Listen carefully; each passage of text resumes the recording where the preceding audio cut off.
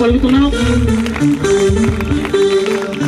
అందరూ కూడా చేపలు కొట్టాలి చేపలు కొట్టి ఆహ్వానిస్తూ మరి మాస్టర్లు థ్యాంక్ యూ వెరీ మచ్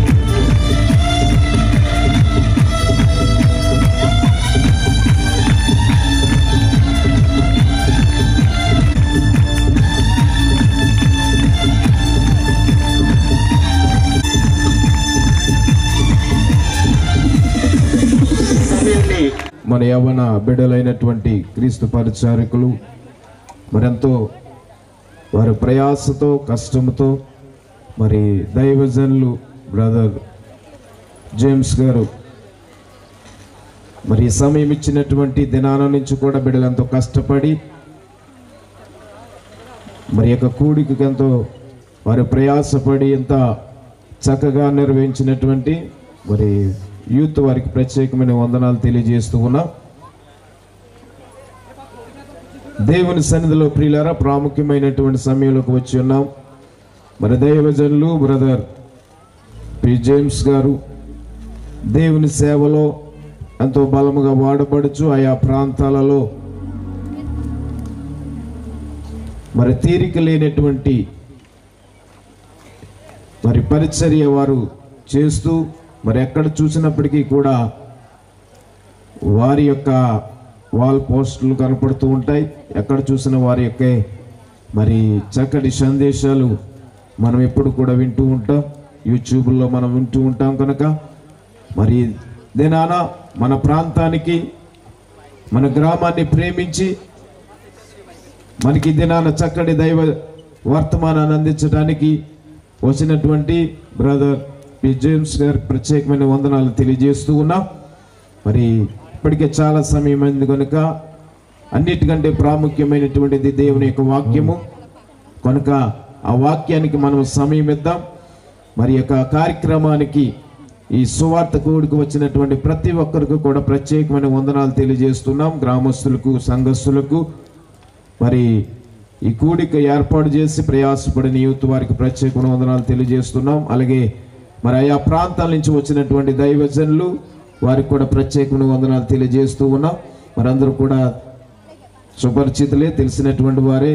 అయితే వారికి కూడా మంచి అవకాశం ఇవ్వాలని అనుకున్నాం. అయితే అందరూ కూడా ఎక్కువగా పాటలు పాడేవాళ్ళు తప్ప మళ్ళీ రేపు ఇంకొక ఊడి కట్టాలి దేవునికి స్తోత్ర. కనుక వారికి కూడా ప్రత్యేకమైన వందనాలు తెలియజేస్తున్నాము. కనుక ఈ సమయంలో మరి ఈ ప్రాముఖ్యమైనటువంటి దైవ వర్తమానంలోకి వెళ్దాం. అందరూ కూడా లేచి నిలబడి ప్రభునామని స్థుతించి ప్రభునామని గణపరిచిన తర్వాత దైవజనులకి ఈ సమయాన్ని అప్పగిస్తుంది ప్రభుని హృదయపూర్వకంగా ప్రభుని ఆహ్వానించి ప్రభు సన్నిధిలో ఆయన యొక్క మా దాసులు నిలబెట్టుకొని దేవుని యొక్క బలమైనటువంటి వాక్యమును దేవుడు మనకు అనుగ్రహించులోగన మనమందరము కూడా ప్రభు సందులో ప్రార్థనా పూర్వకంగా ప్రభుని ఆరాధన చేసే. ప్రభు నామన మయం పడదాం హలలుయ హలలుయ హలలుయ రాజాని సన్నిధిలో నేనుంటానయ్యా. మనసారా ఆరాధిస్తూ బ్రతికేస్తానయ్యా హృదయపూర్వకంగా మనసారా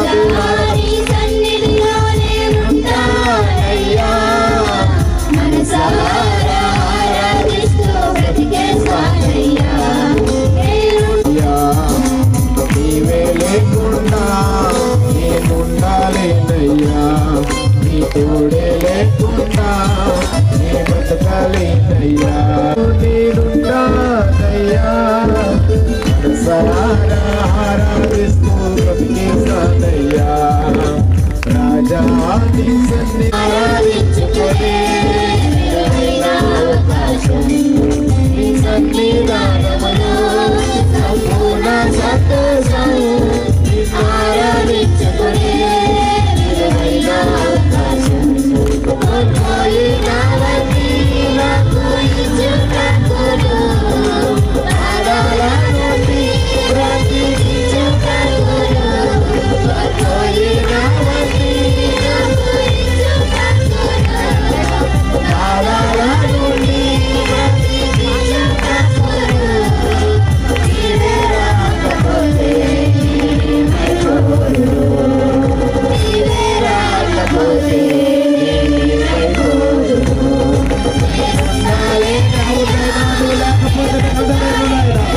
Thank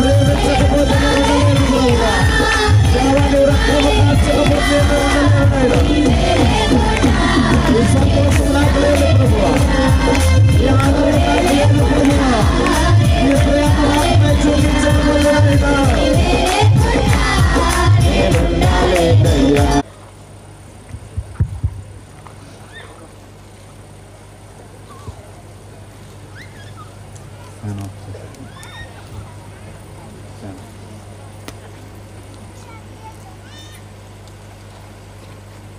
అది డోర్ క్లోజ్ అయిందండి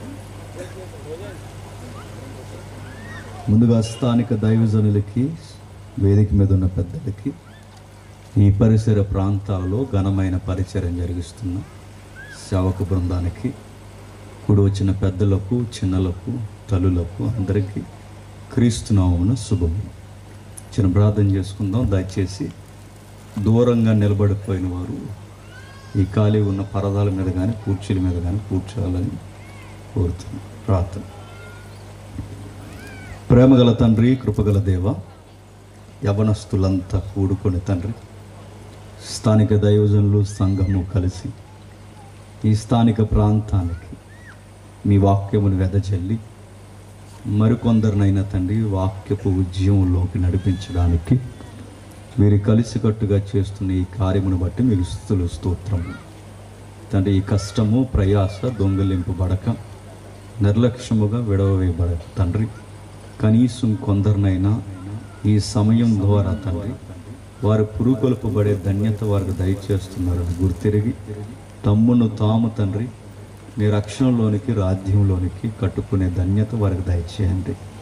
ఎవరైనా తండ్రి ఈ శబ్ద తరంగాల ద్వారా వింటున్న వారైతే వారితో కూడా నేరుగా మీరు మాట్లాడండి. వీరికి ఎలా చెబితే అర్థమవుద్దో వారికి అర్థమయ్యే రీతిలో బోధించే శక్తిని నడిపింపును నాకు అనుగ్రహిస్తారని అర్థిస్తున్నాను. తండ్రి కేవలం వచ్చిన వారు శ్రోతలుగా ఉండిపోక తండ్రి వాక్యపు వెలుగులో తమ్మును తాము పరీక్షించుకునే ధన్యత అనుగ్రహిస్తారని కోరుతున్నాం. తండ్రి కష్టపడిన ప్రతి రూపాయి కష్టపడిన తండ్రి ప్రతి ఒక్క చెమట బిందువు తండ్రి ఈ ఊరి మీద ఈ ప్రాంతం మీద మారకపోతే నేరస్థాపనగా నిలుస్తారు అటు ధన్యకరమైన పరిచర్య వీరు జరిగించారు సూర్యుని కింద ఏదైనా వ్యర్థమో కానీ ప్రభువునందు పడిన ప్రయాస వ్యర్థము కాదన్నారు. తండ్రి అట్టి ప్రయాసను తండ్రి మరింత దీవెనకరంగా ఫలములతో ఈ ప్రాంతాన్ని దీవిస్తారని కోరుతూ అందరినీ మీ చేతులకు అప్పగిస్తూ క్రీస్తున్నామని ప్రార్థన సమర్పిస్తున్నాము తండ్రి. జాగ్రత్తగా కొన్ని విలువైన సంగతులు విందాం. నా మాట చివరి వరకు క్లియర్గా ఉందా? అక్కడ వరకు. చిన్న మోగదే ఓకే. కొన్ని విలువైన సంగతులు విందాం.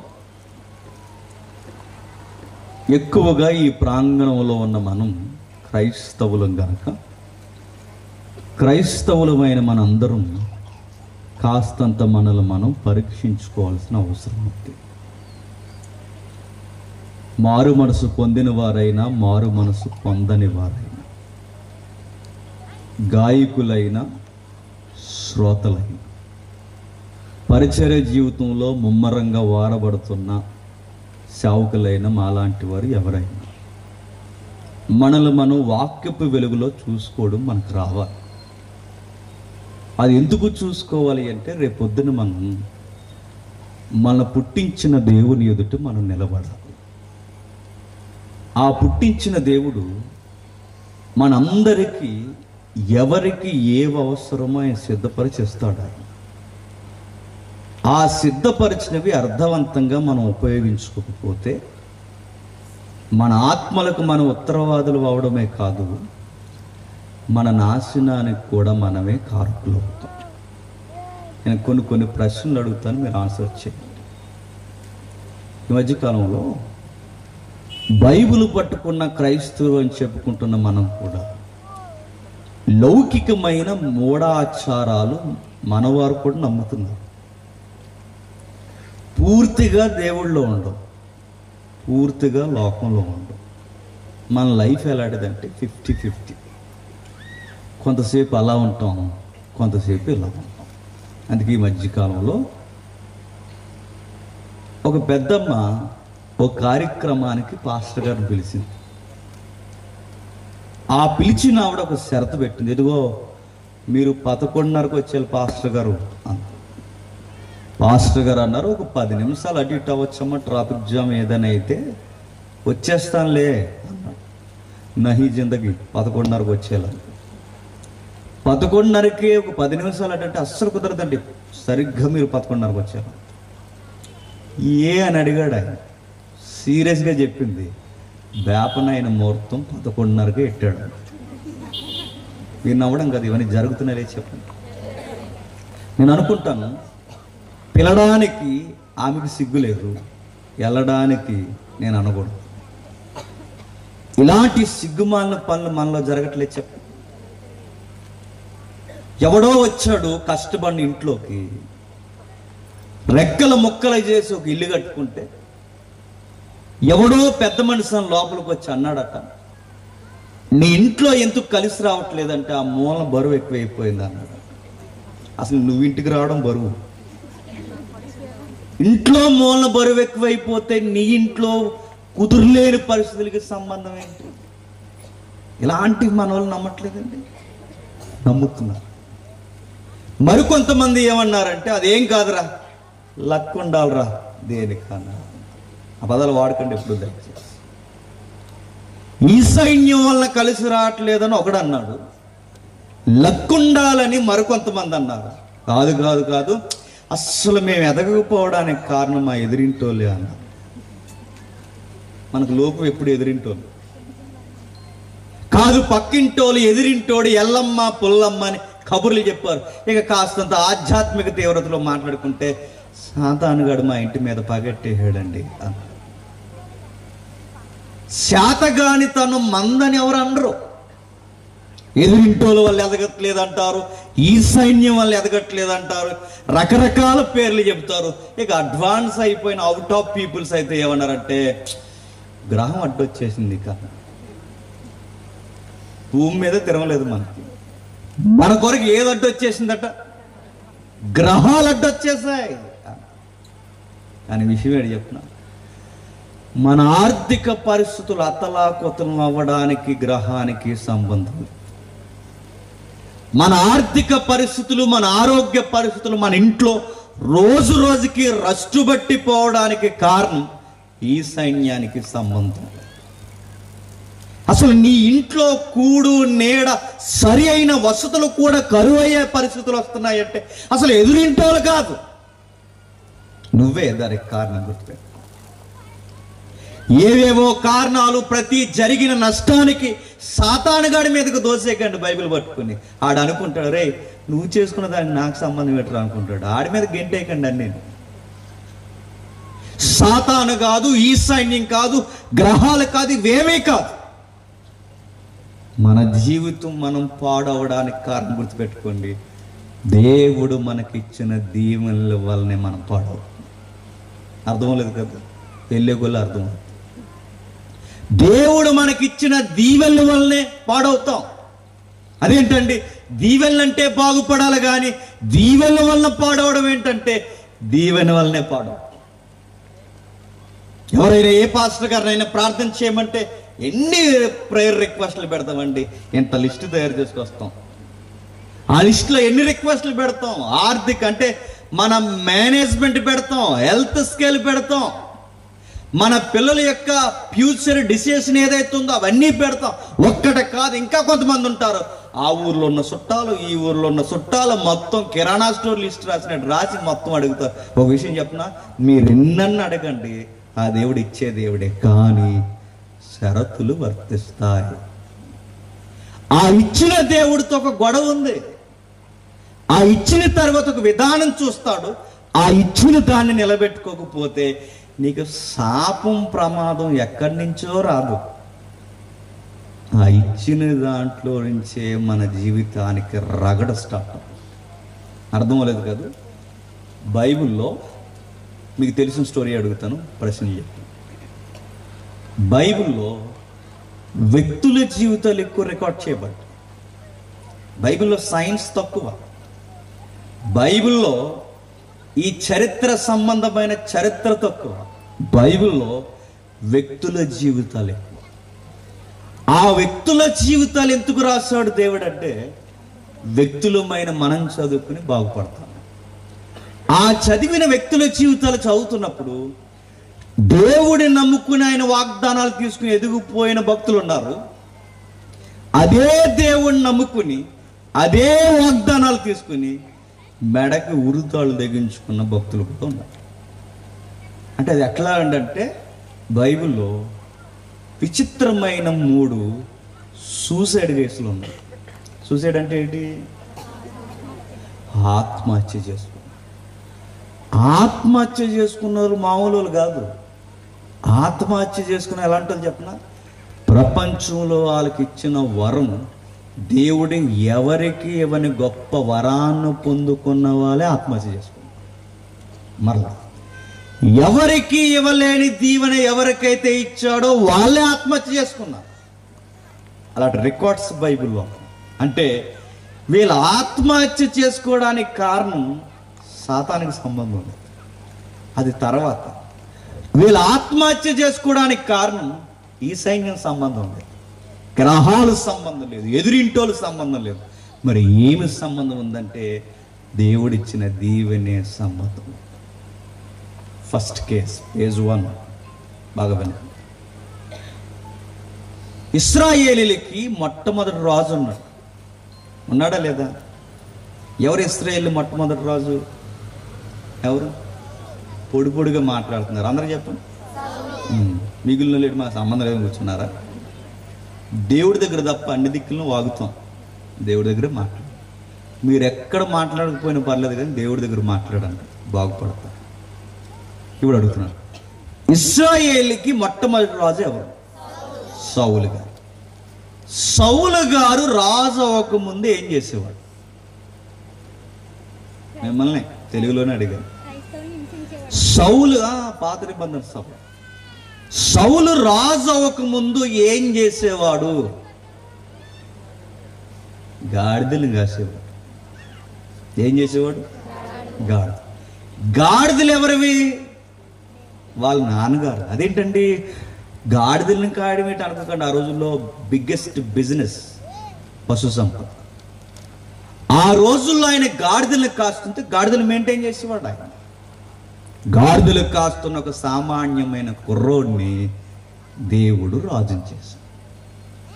సమయలు ప్రవక్తను పంపించాడు. ఆ ప్రవక్త వచ్చిన తర్వాత దేవుడు సమయలు ద్వారా సౌలుతో మాట్లాడాడు ఆ అబ్బాయిని దేవుడు పిలిచి అన్నాడు నువ్వు ఇస్రాయేల్కి మొట్టమొదటి రాజు కాబోతున్నావంటే ఆ అబ్బాయి అన్నాడు నేను రాజు ఏంటి సార్? నో నో నువ్వే రాజు. భయపడిపోయాడు దాక్కుండిపోయారు.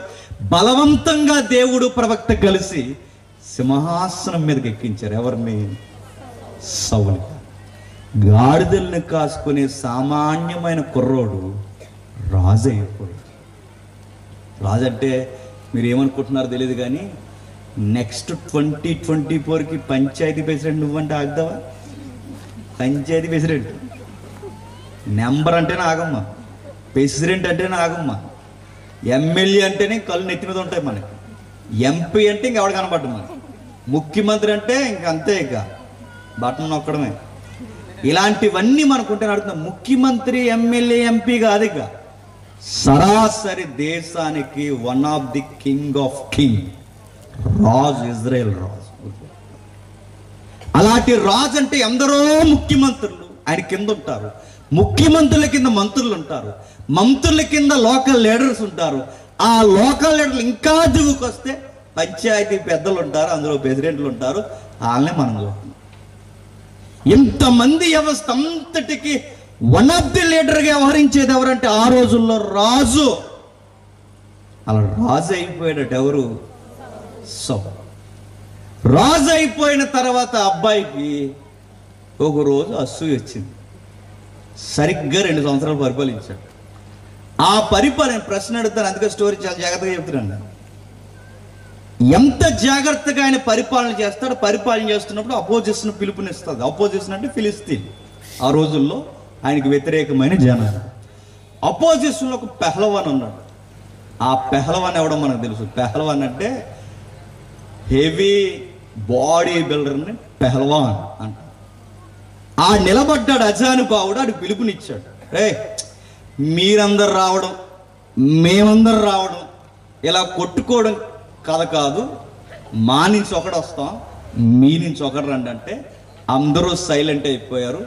అందరూ సైలెంట్ అయిపోయి గుడారాల్లో దాక్కున్నారు. అప్పుడు సౌలు గారు కూడా సీరియస్గా ఫైట్ చేయాలనుకోలేదు. కుర్రోడు ఒకరు వచ్చారు ఆ కుర్రోడు ఎవరో మీకు తెలుసు. దావీదు గారు ఇప్పుడు స్టోరీ జస్ట్ వినండి మనం అటు సైడ్ వెళ్ళొద్దు.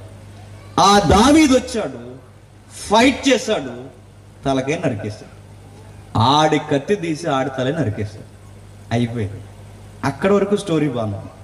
అయితే వీళ్ళు నడిచి వస్తున్నారు చూస్తారా ఆ యుద్ధం చేసి ఆ యుద్ధం చేసి నడిచి వస్తున్నప్పుడు పాటలు పాడారు. ఆ పాడేవారు కుదిరింగా పాడితే బాగుంది. చరణాల్లో వ్యక్తుల్ని మార్చేసి పాడేస్తాం ఏమని పాడారంటే సౌలికి వెయ్యంట దావీదికి పదేంట రాజు ఎవడంట సౌలు. రాజుకేమో వెయ్యట. సామాన్యమైన గొర్రెలు కాసుకునే కుర్రోడికట పదేలట ఈ పాట రాజుగారికి ఎప్పుడైతే వినబడిందో రక్తం ఉడికిపోయింది. ఎవడరా పాట రాసింది అన్నట్టు లుక్ ఇచ్చాడు. పాడినోళ్ళకి పాడించినోళ్ళకి తర్వాత నీ సంగతి లెక్క తేలుస్తాను గుర్తుపెట్టుకున్నాడు. ఆ సాంగ్ పాడుతుంటే ఆ జేజేలు గీతాల మధ్య నడుస్తున్న దావీది మీద కన్నేశాడు.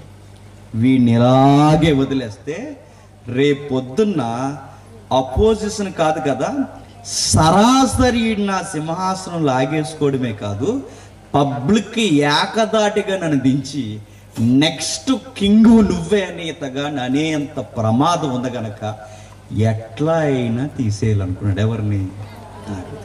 మీకు ఎలా మారుతుందో చూడండి స్టోరీ ఎప్పుడైతే అబ్బాయిని తీసేయాలనుకున్నాడో తీసేయాలి తీసేయాలి నశింపజేయాలి నశింపజేయాలని పరిగెట్టించాడు పరిగెట్టించాడు పరిగెట్టించాడు పరిగెట్టించాడు. దావీదిని చంపాలి చంపాలి చంపాలి చంపాలనుకున్నాడు చచ్చిపోయాడు. ఎప్పుడు గుర్తుపెట్టుకోండి. ఎదిరింటోళ్ళని చూసి పాడైపోవాలి పాడైపోవాలి పాడైపోవాలంటే వాళ్ళు పాడవరు. చెప్పండి. మనం పోతాం. ఒకరిని చూసి నువ్వు వారవలేకపోతే నేను చెప్తున్నాను వాడికేమవదో నువ్వు ఎగిరిపోతావు గుర్తు. ఇది యూనివర్సల్ ట్రూత్ ఒకరి ఎదుగుదల మనం చూడలేకపోతే నశించిపోయేది ఆడి కాదు మనమే నశించిపోతాం. దావీదును చూసి వారవలేకపోయాడు. ఒక చిన్న పిల్లోడితో రాజుకు గొడవెట్టి ఆయన వయసు ఏంటి? ఈ కుర్రోడేంటి అలాంటి కుర్రోడి మీద ఆయన కేంద్రీకరించేశాడు. ఆ కుర్రోడిని లేకుండా చేయాలనుకున్నాడు. ఆ చేయాలనుకున్న ఉరుకులు పరుగుల జీవితంలో దావిదిని పరిగెట్టించాడు పరిగెట్టించాడు. మాట్లాడితే గంటకొకలా మారిపోయాడు ఆ మనిషి. అజనుభవం. ఆ గంటకొకలా మారిపోయిన టైంలో మళ్ళీ ఫిలిస్తీన్లు యుద్ధం ఇచ్చారు. ఇప్పుడు గొలియాత్ కాదు. ఫిలిస్తీన్ మూకంతో యుద్ధానికి రమ్మన్నారు. ఇదిగో మీరు వస్తారా మమ్మల్ని రమ్మంటారు. ఎందుకంటే ఇప్పుడు దావీదు లేడు ఇప్పుడు దావీదికి ఈయనకి పట్టలేదు ఆ లూజ్ వాళ్ళకి దొరికింది ఎవరికి? బయట వాళ్ళకి. ఇదిగో మమ్మల్ని రమ్మంటారా? మీ ఎరుసలేం పట్టణాన్ని ఆక్యుఫై అంటే ఆక్రమించమంటారా? అన్న ఎరుసలేం పట్టణం మీద ఆ రోజు నుంచి ఈ రోజు వరకు ప్రతి ఒక్కరికి కన్ను ఉంటుంది. ఎందుకో చెప్పనా? ఈ ప్రపంచానికి సెంట్రల్ సిటీగా ఏదైనా ఉందంటే జెరూసలేం సిటీ. పైగా త్వరగా కల్చర్లో ఆ రోజుల్లో డెవలప్ అయిన సిటీ ఏదైనా ఉందంటే అదే ఎందుకంటే అటు ఆఫ్రికా కానీ ఇటు ఆసియా కానీ సెంటర్లో అటు పోతున్న విదేశీయులు కానీ ఇటు పోతున్న విదేశీయులు కానీ తాత్కాలికంగా ఆ రోజు ఎక్కడైనా ఆగాలనుకుంటే మంచి లగ్జరీ సిటీ షెల్టర్ ఏదైనా ఉందంటే ఎరుసలేం అంటే విదేశీయులు వస్తూ పోతున్న ఎక్కువ వస్తూ పోతున్న పట్టణం ఏదుందో ఎరుసలేం పట్టణం కనుక త్వరగా డెవలప్ అయిన పట్టణం అది. ఇప్పుడు మీ ఊరు ఉంది. మీ ఊర్లోకి విదేశీయులు వస్తూ పోతూ ఉన్నారనుకోండి ఈ ఊరు ఏమైపోతుంది చెప్పినా? పెద్ద టౌన్ అయిపోతుంది అందుకే విదేశీయులు వస్తున్నారు విదేశీ కంపెనీలు వస్తున్నాయి. ఎందుకు చెప్తారు కూడా వార్తల్లో? వాళ్ళు వస్తే వాళ్ళ కరెన్సీ మన గిరాకీని పెంచుతారు. అలాగే ఎరుసలేంకి ఎక్కువ వస్తూ పోతూ ఉండేవారు కనుక త్వరగా ఎరుసలేం పట్టణం డెవలప్ అయింది. దాని మీద ఫిలిస్తీన్లు కన్నేస్తారు. వాళ్ళు ఏమన్నారంటే ఇదిగో వాళ్ళని ఎట్లా అయినా సరే సౌలుతో గొడవ పెట్టుకుని పట్టణాన్ని లాగేయాలి అలాంటి టైంలో సౌలు గారు దావీది మీద టెంపర్తో ఉన్నాడు ఆ టెంపర్లో ఎప్పుడు ఎవడి మీద అసూతో తగిలిపోతుంది అనుకుని బుర్ర పనిచేయదు బుర్ర పని చేయని పనులు చేస్తాం. ఎప్పుడు కోపంలో నిర్ణయాలు తీసుకున్నా ఎదుటివాడి మీద ఓ మనం ఎగిరేసినా ఎప్పుడు గుర్తుపెట్టుకోండి మనకు మనమే విరుద్ధమైన నిర్ణయాలు తీసుకుంటాం. సౌలు గారు దావీది మీద ఈ కోపం ఎప్పుడైతే పెట్టుకున్నాడో పెట్టుకున్న వెంటనే అవతల నుంచి పిలుపునిచ్చారు. ఆ పిలుపునిచ్చి అక్కర్లేని యుద్ధానికి సై అంటే సై అని వెళ్ళిపోయాడు. అవతల నుంచి ఒకడు బాణం వేస్తాడు. ఆ బాణం వేసినోడు ప్రాక్టీస్ లేనోడు వేసాడు. అంటే అది సరిగా వేయడం కూడా రాదు. ఆ ఏడు రానోడు వేసాడు. గురి తప్పిన బాణం అలా తిరిగి ఎలా తిరిగి అలా తిరిగి వచ్చి సరాసరి సౌలు గుండెల్లో గుచ్చుకుంది. ఈ గుచ్చుకున్న వెంటనే సౌలు గారు డిసైడ్ అయిపోయారు. ఛే శత్రువు చేతుల్లో చావడం వేర మరణం కాదు. నాకు నేనే చావడం వేర మరణం అనుకుని ఆ ఈటు కొన తన వేపుకు తిప్పుకొని ఆ కొన మీద పడిపోయి సూసైడ్ చేసుకుని ఇది వేర మరణం అనుకుని చచ్చిపోయాడు. ఇప్పుడు ప్రశ్న అడుగుతాను చెప్పాను ప్రశ్న ఏంటంటే సామాన్యంగా గాడిదల్ని కాసుకునే కుర్రోడు రాజును చేసింది ఎవరు చెప్పండి? దేవుడు. ఇప్పుడు ఈ అబ్బాయిని రాజుని చేయడం వలన అలవాట్లేని అబ్బాయి రాజు అయ్యాడు రాజు అయిన తర్వాత సింహాసనం మీద పాలిటిక్స్ మీద పిచ్చి పెరిగింది. ఈ పాలిటిక్స్ ఎప్పుడైతే ఈ సింహాసనాల మీద అబ్బాయికి పిచ్చి పట్టిందో ఈ పిచ్చి విషయంలో దావీదుని చంపాలనుకున్నాడు. ఆ చంపే ఉరుకులు పరుగులు ప్రయాణంలో ఈ అక్కర్లేని ఈ కోపతాపాలకు పోయి పనికిరాని యుద్ధానికి పోయాడు. ఆ యుద్ధంలో ప్రాక్టీస్ లేనివాడు బాణం వేశాడు. ఆ బాణం వచ్చి తగిలేసరికి సూసైడ్ చేసుకుని చచ్చిపోయాడు. ఇప్పుడు నేను అడుగుతున్నాను.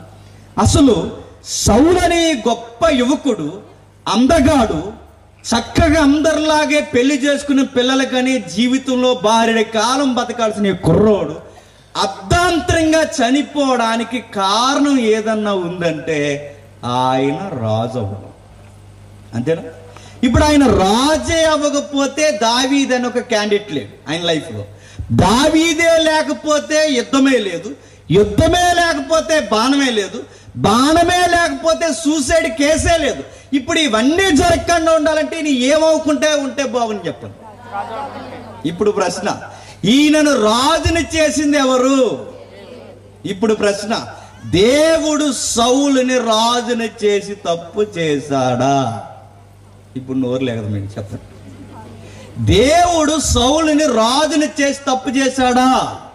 ఎస్ఆర్ నో లేదని మీరే చెప్తారు ఎందుకంటే ఆయన దేవుడు కానీ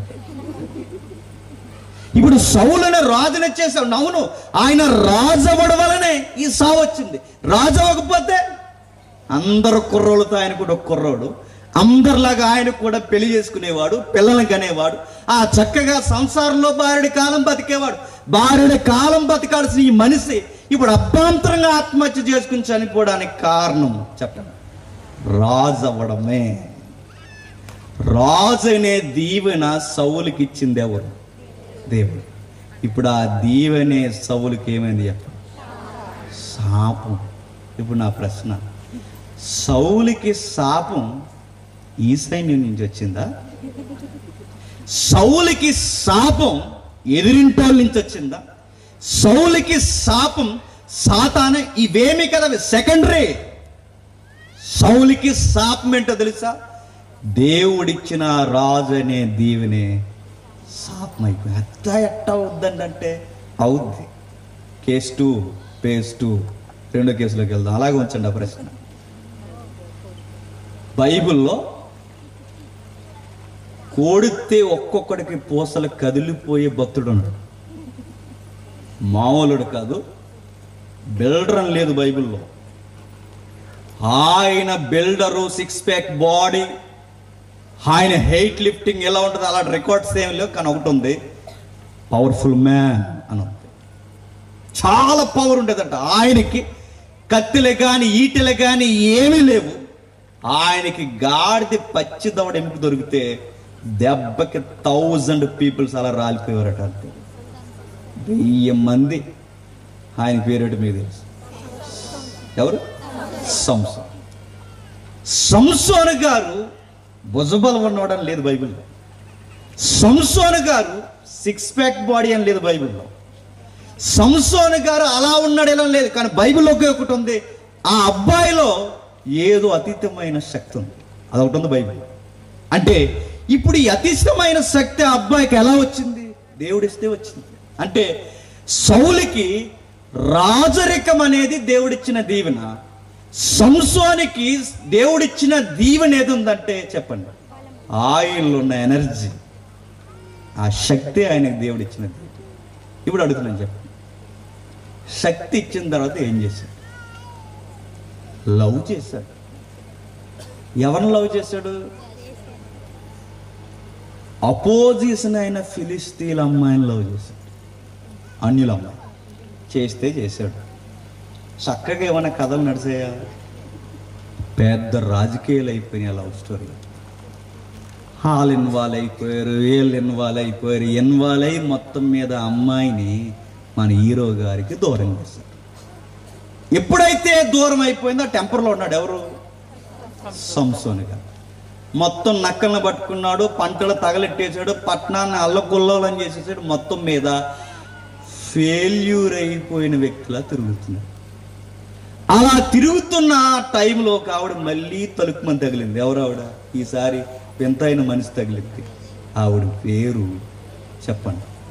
డెలీల ఇబ్రూ శబ్దంలో డెలీల అంటే ఒక విచిత్రమైన తెలుగు అర్థం ఉంటుంది అంటే తెలుగులో వగలాడి అని పగలాడంటే ఏంటని నన్ను అడగండి అదో రకం. వగలాడంటే పెద్దమ్మలు గొడవ అన్నప్పుడు అంటారు చూసారా? రే ఆవిడ నోట్లో నేరెట్టుకురా బాబు. ఏ? ఆవిడ వగలాడి. వగలాడంటే అలా మాట్లాడుతుంది ఎలా మాట్లాడుతుంది ఎలాగైనా మాట్లాడుతుంది వాళ్ళని వగలాడంటారు ఇప్పుడు దలీల్ అనే పేరుకి అర్థం ఏంటంట? ఇప్పుడు సంసోన్ గారు ఎవరిని లవ్ చేశాడు చెప్తాను తెలుగులో. వగలాడిని లవ్ చేశాడు. వగలాడంటే వగలాడు కదండి మరి. అప్పుడు ఆవిడ అందట నువ్వు నన్ను సీరియస్గానే లవ్ చేస్తున్నావా? అని అడిగింది. ఎలాగ తమ్ముళ్ళు అన్నీ జాగ్రత్త. నువ్వు నన్ను సీరియస్గానే లవ్ చేస్తున్నావంటే ఎస్ ట్రూ లవ్ అన్నాడు నిజముగానే నిజమైన ప్రేమ అయితే లవ్లో ఏముండకూడదో తెలుసా? అంతే అలా తెలిస్తే కుర్రగా మొక్కి అడగ. లవ్లో ఏముండకూడదు అని అడిగితే ఏముండకూడదు? సీక్రెట్స్ ఉండకూడదు. దాపరికాలు నువ్వు నా దగ్గర దాస్తున్నావు అంతే. నేనా? అన్నాడు. ఎస్ నువ్వే. నా దగ్గర నువ్వు సీక్రెట్స్ మెయింటైన్ చేస్తున్నావు వెంటనే మరి ఇప్పుడు నీకేం కావాలంటే సీక్రెట్స్ నాకు అన్నీ బయటకు చెప్తే నువ్వు నన్ను ట్రూగా లవ్ చేస్తున్నావు. ఇలా చెప్పిన వెంటనే ఈ కుర్రం ఒక చెప్పేస్తారు. మా నాన్న పేరు మీద ఎకరం ఉంది. నా పర్సులో వంద రూపాయలు ఉన్నాయి. బైక్ పెట్రోల్ యాభై రూపాయలు కొట్టించాను. ఇవన్నీ చెప్తారు. అన్నీ చెప్పాక నీకు ఓ రోజు అది హండ్రెడ్కి కాల్ చేస్తారు పని జరుగుతాయి. అన్నీ కదలండో ఎక్కువ మళ్ళీ ఇదో గొడవ ప్రేమికులందరూ నా మీద తిరగకూడదు. సంసోన్ గారిని కూడా ఇలాగ అడిగింది. అడిగిన తర్వాత నీ సీక్రెట్ ఏంటంటే ఆవిడ దగ్గర కొంచెం జాగ్రత్త పడితే బాగుంది ఎలా అడుగుతుంది ఏంటి పిల్ల అని జాగ్రత్త పడితే బాగుంది కానీ ఈయన ఆ మైకులో ఆవిడ తెటకరలాడు అందులో ఉంది ఇందులో ఉంది ఆ కొత్త తాళ్ళు కడితే అందులో ఉంది ఈ ఐదు జోవల్లో ఉంది. దీంతో నన్ను బంధిస్తే నేను బలహీనుని అయిపోతాను అన్నాడు. నిజమేనా? నిజమేనా కానీ అందులో ఉంది ఇందులో ఉందని దాక్కున్న ఆ శత్రువులకు చెప్పింది. వాళ్ళు వచ్చారు వాడితో బంధించాలనుకున్నారు. ఎలా వచ్చినా అలా పంపించేశాడు. ఇలా వచ్చారు ఎవడిని వచ్చినా అలా పంపించేసాడు అప్పుడు వాళ్ళకి అర్థమైపోయింది. ఇతనిలో ఈ బలం ఉన్నది ఇందులో కాదు. వెంటనే మళ్ళీ వచ్చింది. నువ్వు నాతో అబద్ధం ఆడావు అంది. నేనా? అంది. నువ్వే! అందులో ఉందన్నా ఇందులో ఉందన్నా అందులో ఉందన్నా ఎందులో లేదు. ఇంకా ఎందులోనే ఉంది. ఆ సీక్రెట్ నాకు చెప్పట్లేదు. నువ్వు నిజంగా నన్ను నాతో మాట్లాడకని ఏమందో మరి ఆ రోజు? మొత్తం మీద ఇసుకుపోయాడు బైబిల్ ఉన్న పదం ఇసుకుపోయి ఆ రోజు చచ్చిపోదాం అనుకున్నాడు ఎవరు వెంటనే ఆ తర్వాత రాయబడిన మాట బైబిల్ ఆ మాట ఉందండి. ఆవిడ ఒళ్ళో పడుకున్నాడట అలా తలకై పెట్టి. ఇలా తలదు అందట. నీ క్వశ్చన్ అడుగుతాను జనాలు జాగ్రత్తగా. తలదు పోయిన తర్వాత అందట ఇప్పుడు చెప్పే నీ బలం ఎందులో ఉంటుంది? అంటే పదే పదే అలా అడుగుతుందంటే ఆయన డౌట్ రావాలి కదండి. కానీ అందులో రాదు ఏటో మరి. నిజంగానే. అదో అదో మేఘం అది. ఒకటి పాట పాడుతున్నాడు. ఏ నీ కళ్ళతో కాదురా. నా కళ్ళతో చూడరా. మన కళ్ళని పాడైపోయినట్టు. నీ కళ్ళతో కాదురా నా కళ్ళతో చూడరా. అలా కాదురా ఇలా కాదురా. ఏ ఇది ఎండాకాలం కాదురా. మరి చలికాలం రా. ఆ రోగం అలా ఉంటుంది దెబ్బలు తినే వరకు. అలాగే సంసోన్ గారు కూడా అలాగే మాట్లాడుతున్నారు అలా మాట్లాడుతూ సంసోన్ గారు మొత్తం మీద ఆ సీక్రెట్ చెప్పేసాడు ఇదిగో అసలు నా బలం ఎందులో ఉందంటే నిజానికి సంసోన్ గారికి కూడా క్లారిటీ తెలియదండి బలం ఎందులో ఉందో అప్పటికి. ఆయన అనుకున్నాడు నా బలం నా తల్లోనే ఉందనుకో నిజానికి అందులో లేదు. ఆయన బలం ఎక్కడుందో చెప్పినా? దేవునితో ఉన్న సంబంధంలో ఆ సంబంధానికి గుర్తే ఆయన తల నిబంధన గుర్తు. ఆ నిబంధనలో ఉందని ఇదే బలం అనుకుని చెప్పేశాడు. వెంటనే వచ్చారు. ఆ తల ఈవిడ కటింగ్ చేసి వెంటనే వాళ్ళు వచ్చి ఈయన పట్టుకున్నారు. పట్టుకుని వెంటనే తీసుకెళ్ళిపోయారు. తీసుకెళ్ళిపోయిన తర్వాత తిరగలు కట్టేశారు. ఆ తిరగలు కట్టిన తర్వాత ఆ తిరగలు ఇసురుతున్నారు తిరగడంటే ఎద్దులకు పెద్ద పెద్ద తిరగలు కట్టేవారు ఆ రోజుల్లో. ఈ గానుగులు పెద్ద పెద్ద ఆయిల్స్ లాగా ఆ రోజుల్లో ఆయిల్ మిల్లు అనమాట అలాంటి దాన్ని కట్టేసిన తర్వాత ఆ తిరగలు అలాగా కళ్ళు కళ్ళు పోయిన తర్వాత ఆ తిరగలు అలా ఇసురుతూ ఇసురుతూ ఇసురుతూ ఉండగా గల్లు నేర్చాడు. దేవా స్థితిని మర్చిపోయినయ్యా అని. ఆ ఏడ్చిన సంసోని గారు ప్రార్థన చేశారు దేవా మరలా ఒక్కసారి నాకు బలం ఒక్కసారి నాకు బలం ఇస్తే నీ చిత్తాన్ని నెరవేరుస్తా అన్నాడు. దేవుడు బలం ఇచ్చాడు.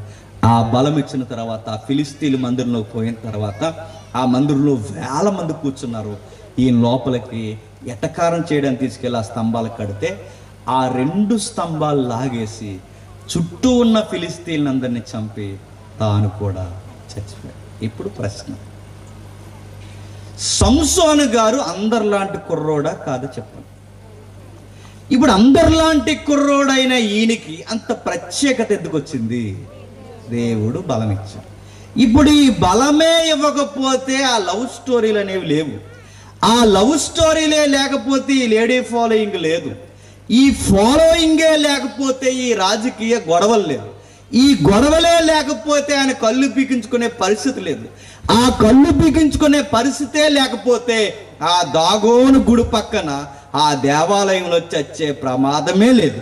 ఇప్పుడు ఈ ప్రమాదం అంతా జరగడానికి ఇంత భయంకరమైన పరిస్థితులు ఈయన జీవితంలోకి రావడానికి కారణం ఏంటి చెప్పండి? దేవుడు ఆయనకి గొప్ప బలమే. ఉంది ఆ బలమే సంసోన్ గారికి ఏమైపోయింది చెప్పండి? శాపం అయిపోయింది ఇప్పుడు నా ప్రశ్న.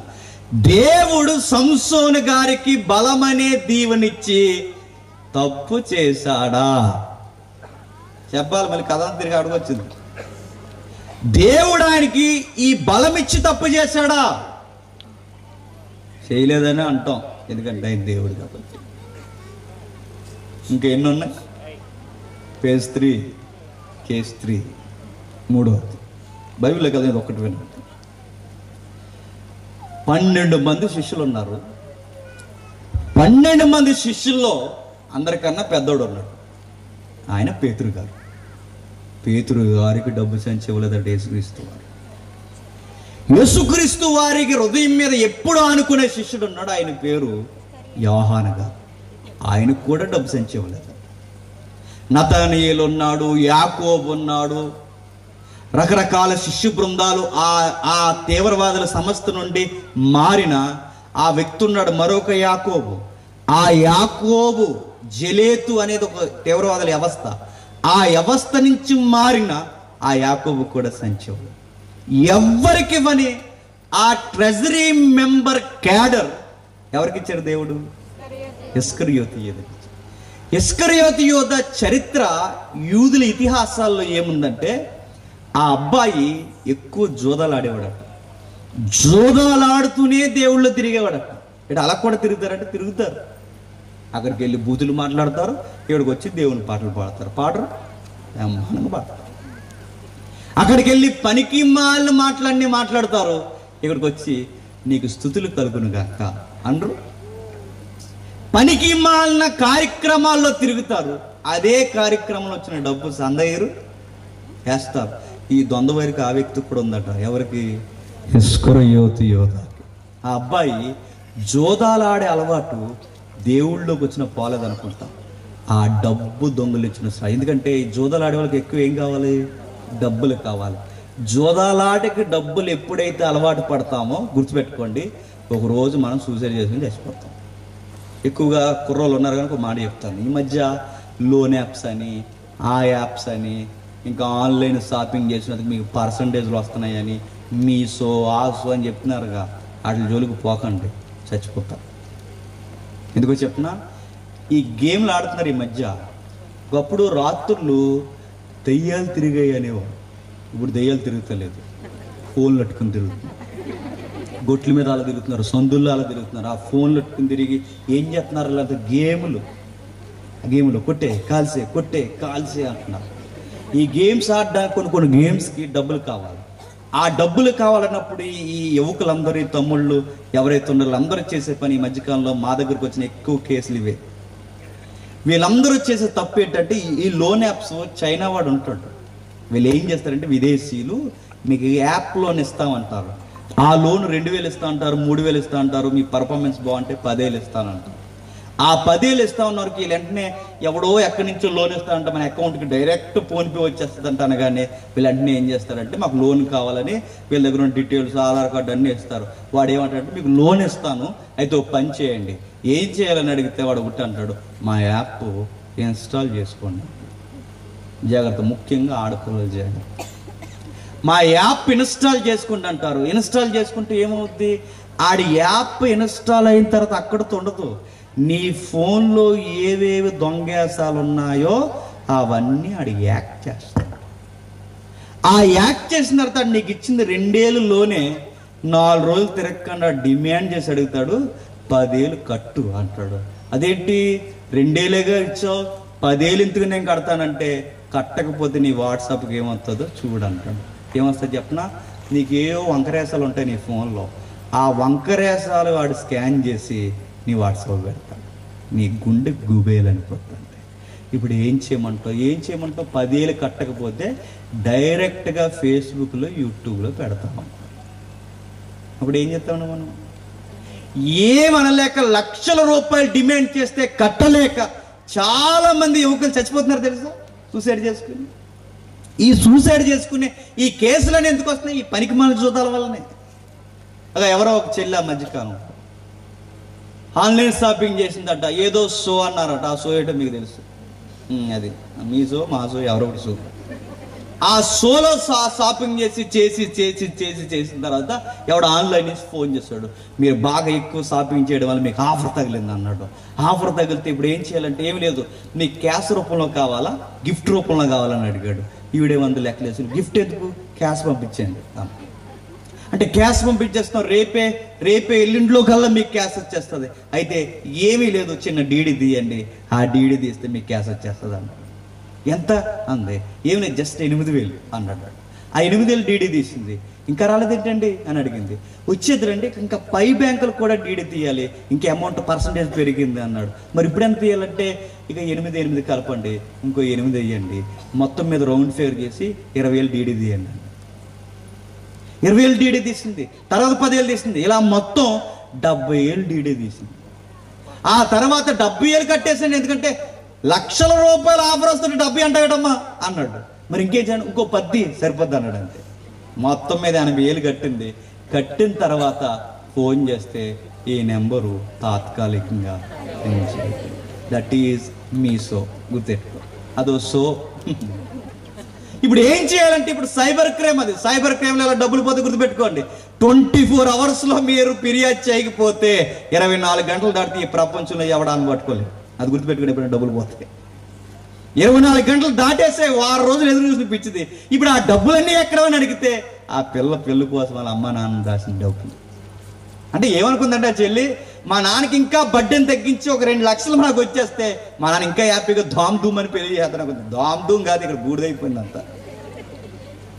మొత్తం పోయేటప్పుడు ఇలాంటివన్నీ ఈ రోజు ఆన్లైన్ జోదాలు. ఇలాంటి జోదాలు ఆడేవాడు. అది ఆన్లైన్ కాదు బహిరంగ ఆడేవాడు. ఎవరు? ఇస్కర్ యూత్ యువత ఆ జోదాల అలవాటు ఉంది కాబట్టే ఇస్కరేత్ యోధాకి ఏం జరిగిందో తెలుసా? సరాసరి యేసుక్రీస్తునే అమ్మేయాలన్న బుద్ధి వచ్చింది అమ్మేశాడు. సీప్గా డెడ్ సీప్గా ముప్పై ఎండి నాణ్యాలకు అమ్మేశాడు ముప్పై ఎండి నాణ్యాలకు అమ్మేసిన తర్వాత ఈ మనసు ఉంటుంది చూస్తారు అది ఊరుకోదు. దేవుడు మనస్తాక్షిని పెట్టాడు మనం మనం ఏమని చేస్తే ఎవడు నిన్ను అడిగినా అడగకపోయినా అది అడుగుతుంది లోపల కూర్చొని సరిగ్గా రాత్రులు లేచి అడుగుతుంది. ఇప్పుడు మనం ఏమని చేసాం అనుకోండి రాత్రులు అడుగుతుంది. యారా జేమ్స్ ఏట్రా నువ్వు అని. నువ్వు ఎవరికి సమాధానం చెప్పకపోయినా చెప్పండి. దానికి సమాధానం చెప్పుకో. అది అందరిని అడుగుతుంది. ఇస్కర్ యోతి యోధ అని కూడా అడిగి ఏ ఏంటి నువ్వు చేసిందంటే తట్టుకోలేకపోడు ఛీ, ఆయనతో అన్నం తిన్నాను ఆయనతో నీళ్ళు తాగాను ఆయనతో నిద్రపోయాను ఆయన పరీక్షలు తిరిగాను సరాసరి ఆయన అమ్మేసేవేట్రా? అని ఆ మనసు అడిగేసరికి తట్టుకోలేకపోయాడు. ఆ గిల్ట్ ఫీలింగ్లో సూసైడ్ చేసుకుని చచ్చిపోయాడు. బాధపడ్డాడు కానీ ప్రభు దగ్గర బాధపడకుండా తనలో తానే కుమిలిపోయి చచ్చిపోయాడు. ఇప్పుడు అడుగుతున్నాను. ఇస్కరియోత యోధ జోదాలాడుకునే అబ్బాయిని పన్నెండు మందులు అపోస్తులను చేసింది ఎవరు? ఎవరు చెప్పండి? యేసుక్రీస్తు. ఈ అబ్బాయి అపోస్తుడు అవ్వకపోతే సంచి లేదు. సంచి లేకపోతే డబ్బులు సంపాదించే లేదా దొంగిలించే విధానం లేదు. ఆ విధానం ఆయనలో అది కొనసాగపోతే యేసుప్రభు నమ్మే ప్రమాదం లేదు. ఇవన్నీ జరగడానికి కారణం ఆ అబ్బాయిని శిష్యుని చేయడం. ఇప్పుడు అబ్బాయిని శిష్యున్నే చేయకపోతే ఇలా సూసైడ్ చేసుకుని చచ్చిపోతాడా? ఇప్పుడు అడుగుతున్నాను. ఇప్పుడు ఈయన ఇలా చనిపోవడానికి కారణం ఆయన శిష్యుడు ఇప్పుడు ఆయన శిష్యుని చేసింది ఎవరు చెప్పండి? దేవుడు. ఇప్పుడు ఇస్కరియోత యోధాన్ని దేవుడు శిష్యుడిని చేసి తప్పు చేశాడా? మళ్ళీ ఆడుకొచ్చింది కదా చెప్పాలి లేదంట ఎందుకు చెప్పండి? ఆయన దేవుడు కాదు. ఇప్పుడు అడుగుతున్నా. సౌలుని రాజును చేసినందుకు చచ్చిపోయాడు. సంసోనికి బలం ఇచ్చినందుకే చనిపోయాడు. ఇస్కరియోత యోధాని అపోస్తులు చేసినందుకే చనిపోయాడు. ఇప్పుడు దేవుడు వీళ్ళని ఇలా చేసినందుకు చనిపోయాడా? బైబిల్ అంటుంది అట్లా అనరా మరి దేవుడు వాళ్ళకి శాపాలు పెట్టాడా? దేవుడు ఏ మనిషికి శాపాలు పెట్టాడు. మరి ఈ శాపం అనేది ఎలా వచ్చింది? ఆ దిక్కుల నుండో ఆ గ్రహాల నుంచో ఈ ప్రమాదాలు ఎక్కడి నుండి రాలేదు? ఆ శాపం ఎలా వచ్చిందంటే ఆయన ఇచ్చిన దీవుల్లో నుండే శాపం వచ్చింది. అట్లా ఎట్లా వస్తుందంటే వస్తుంది ఈసారి దీవుల కొరకు ప్రార్థన చేసినప్పుడు జాగ్రత్త కలిగి ఉండాలని బైబిల్ పదే పదే చెప్తుంది. చూద్దాం ఇప్పుడు ఇప్పుడు రండి బైబిల్లో వెళదాం ఒకసారి. ఆది కాండం ఆది కాండం మొదటి అధ్యాయం. ఆది కాండం మొదటి అధ్యాయం. అందరూ బైబిల్ తీయండి. ఇరవై ఎనిమిది వచ్చిన చూడండి దేవుడు వారిని ఆశీర్వదించెను. ఎట్లనగా? మీరు ఫలించి అభివృద్ధి పొంది. విస్తరించి భూమిని నిండించి. దానిని లోపరుచుకొనిడి సముద్రపు చేపలను. ఆకాశ పక్షులను. ఆకాశ పక్షులను. భూమి మీద ప్రాకు ప్రతి జీవిని ఏరుడని భూమి మీద ప్రాకు ప్రతి జీవిని ఏలుడని దేవుడు వారితో చెప్పాను ఉమ్, దేవుడు. ఇదిగో భూమి మీద ఉన్న ప్రతి చెట్టును వృక్ష ఫలములు గల ప్రతి వృక్షమును మీకు ఇచ్చి నేను ఒక మాట అడుగుతాను చెప్పండి. దేవుడు వారిని దీవించి. వారిని అన్న దీవెనకి పర్యాయ పదం లేదా దీవెనకి పర్యాయ పదమే ఆశీర్వాదం.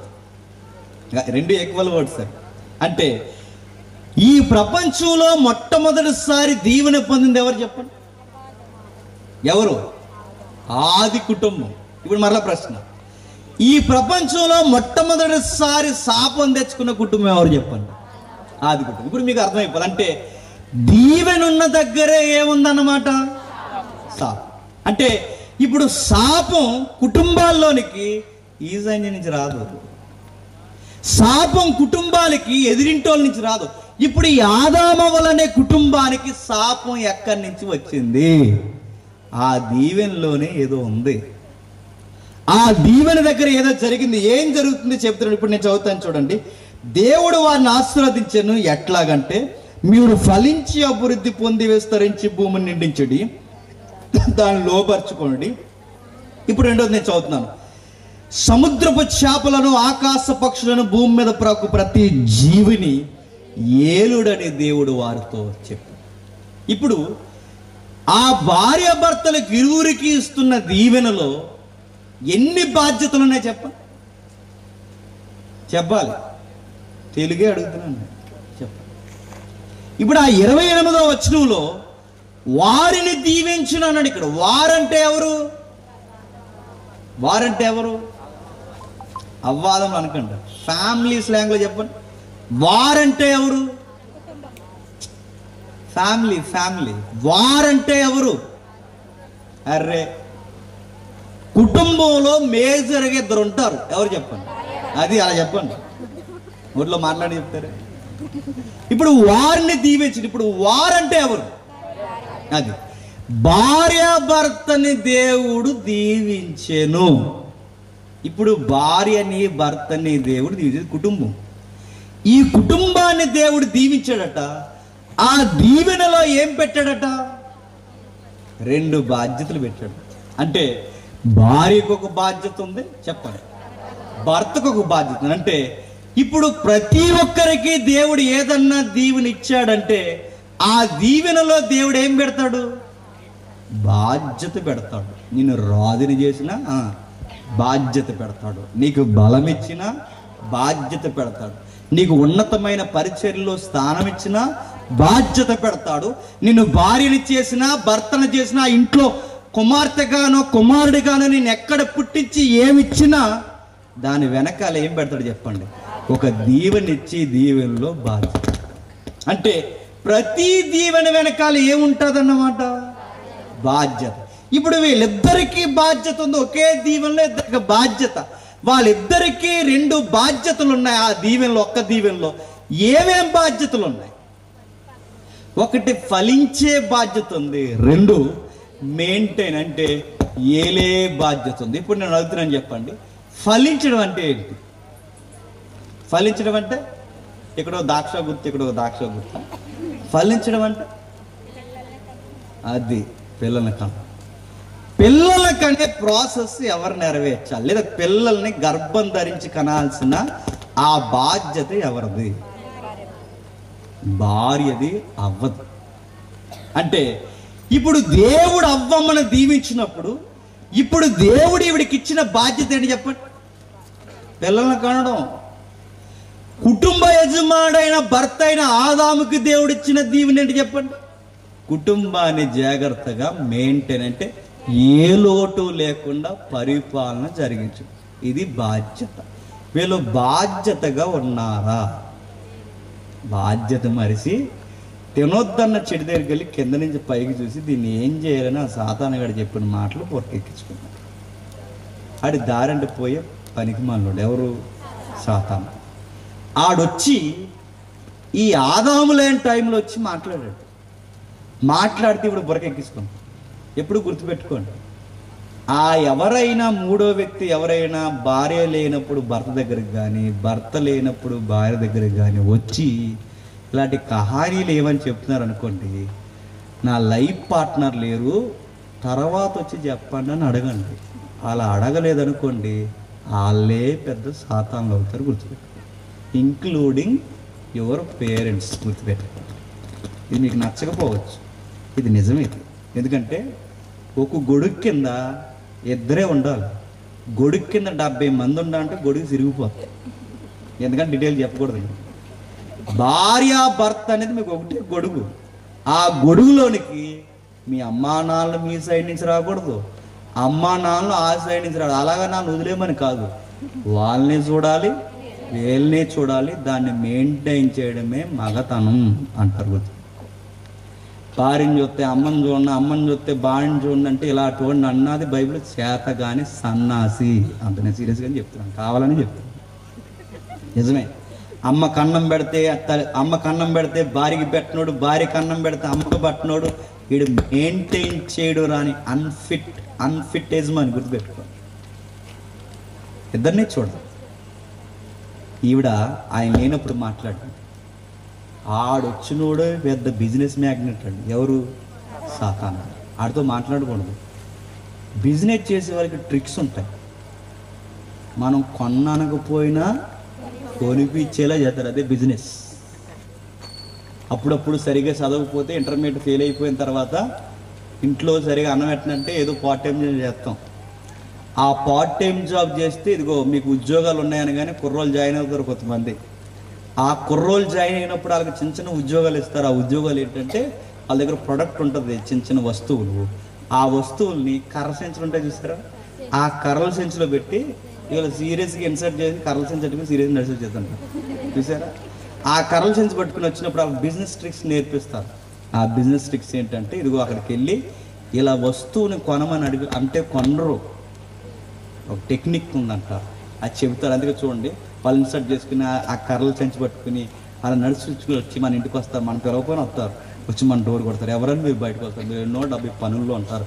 వచ్చిన తర్వాత ఆడు అంటాడు మేడం అంటే వస్తువు కోసం అంటే మీరు సీరియస్గా అంటారు.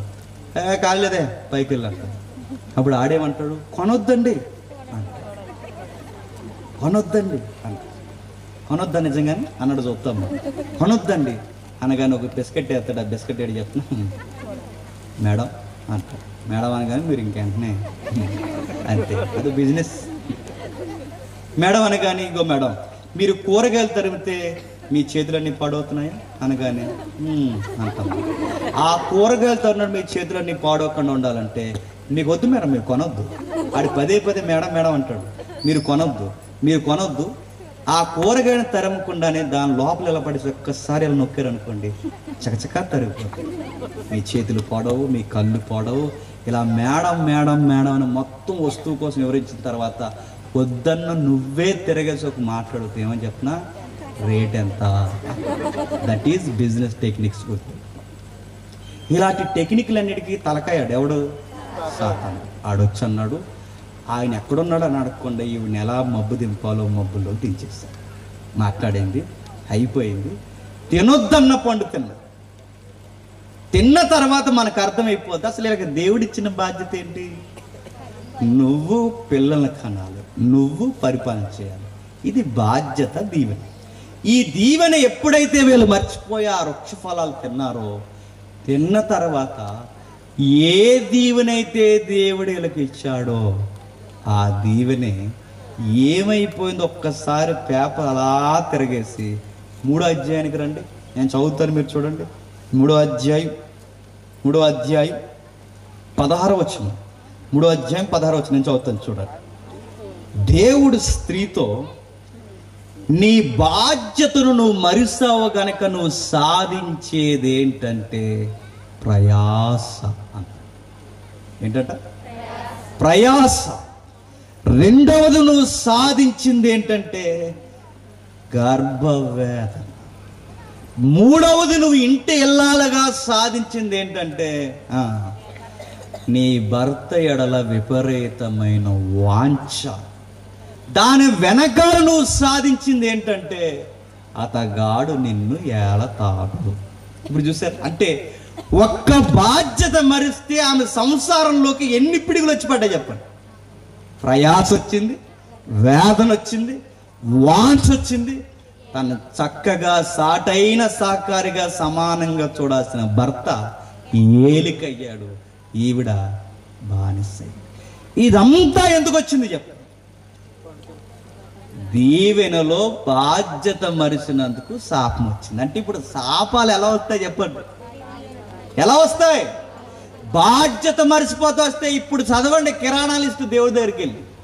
నన్ను సీఎం అని చేయమంటావో పిఎం అని చేయమంటావో వజ్రాలు ఇమ్మంటావో వైడూర్యాలు ఇమ్మంటావో ఉద్యోగం ఇమ్మంటావు నువ్వు వెన్ను అడుగుతావు అడుగు ఆయన ఇస్తాడు. కానీ దాని వెనకాలే నీ బాధ్యత ఏంటని కూడా అడుగుతాను.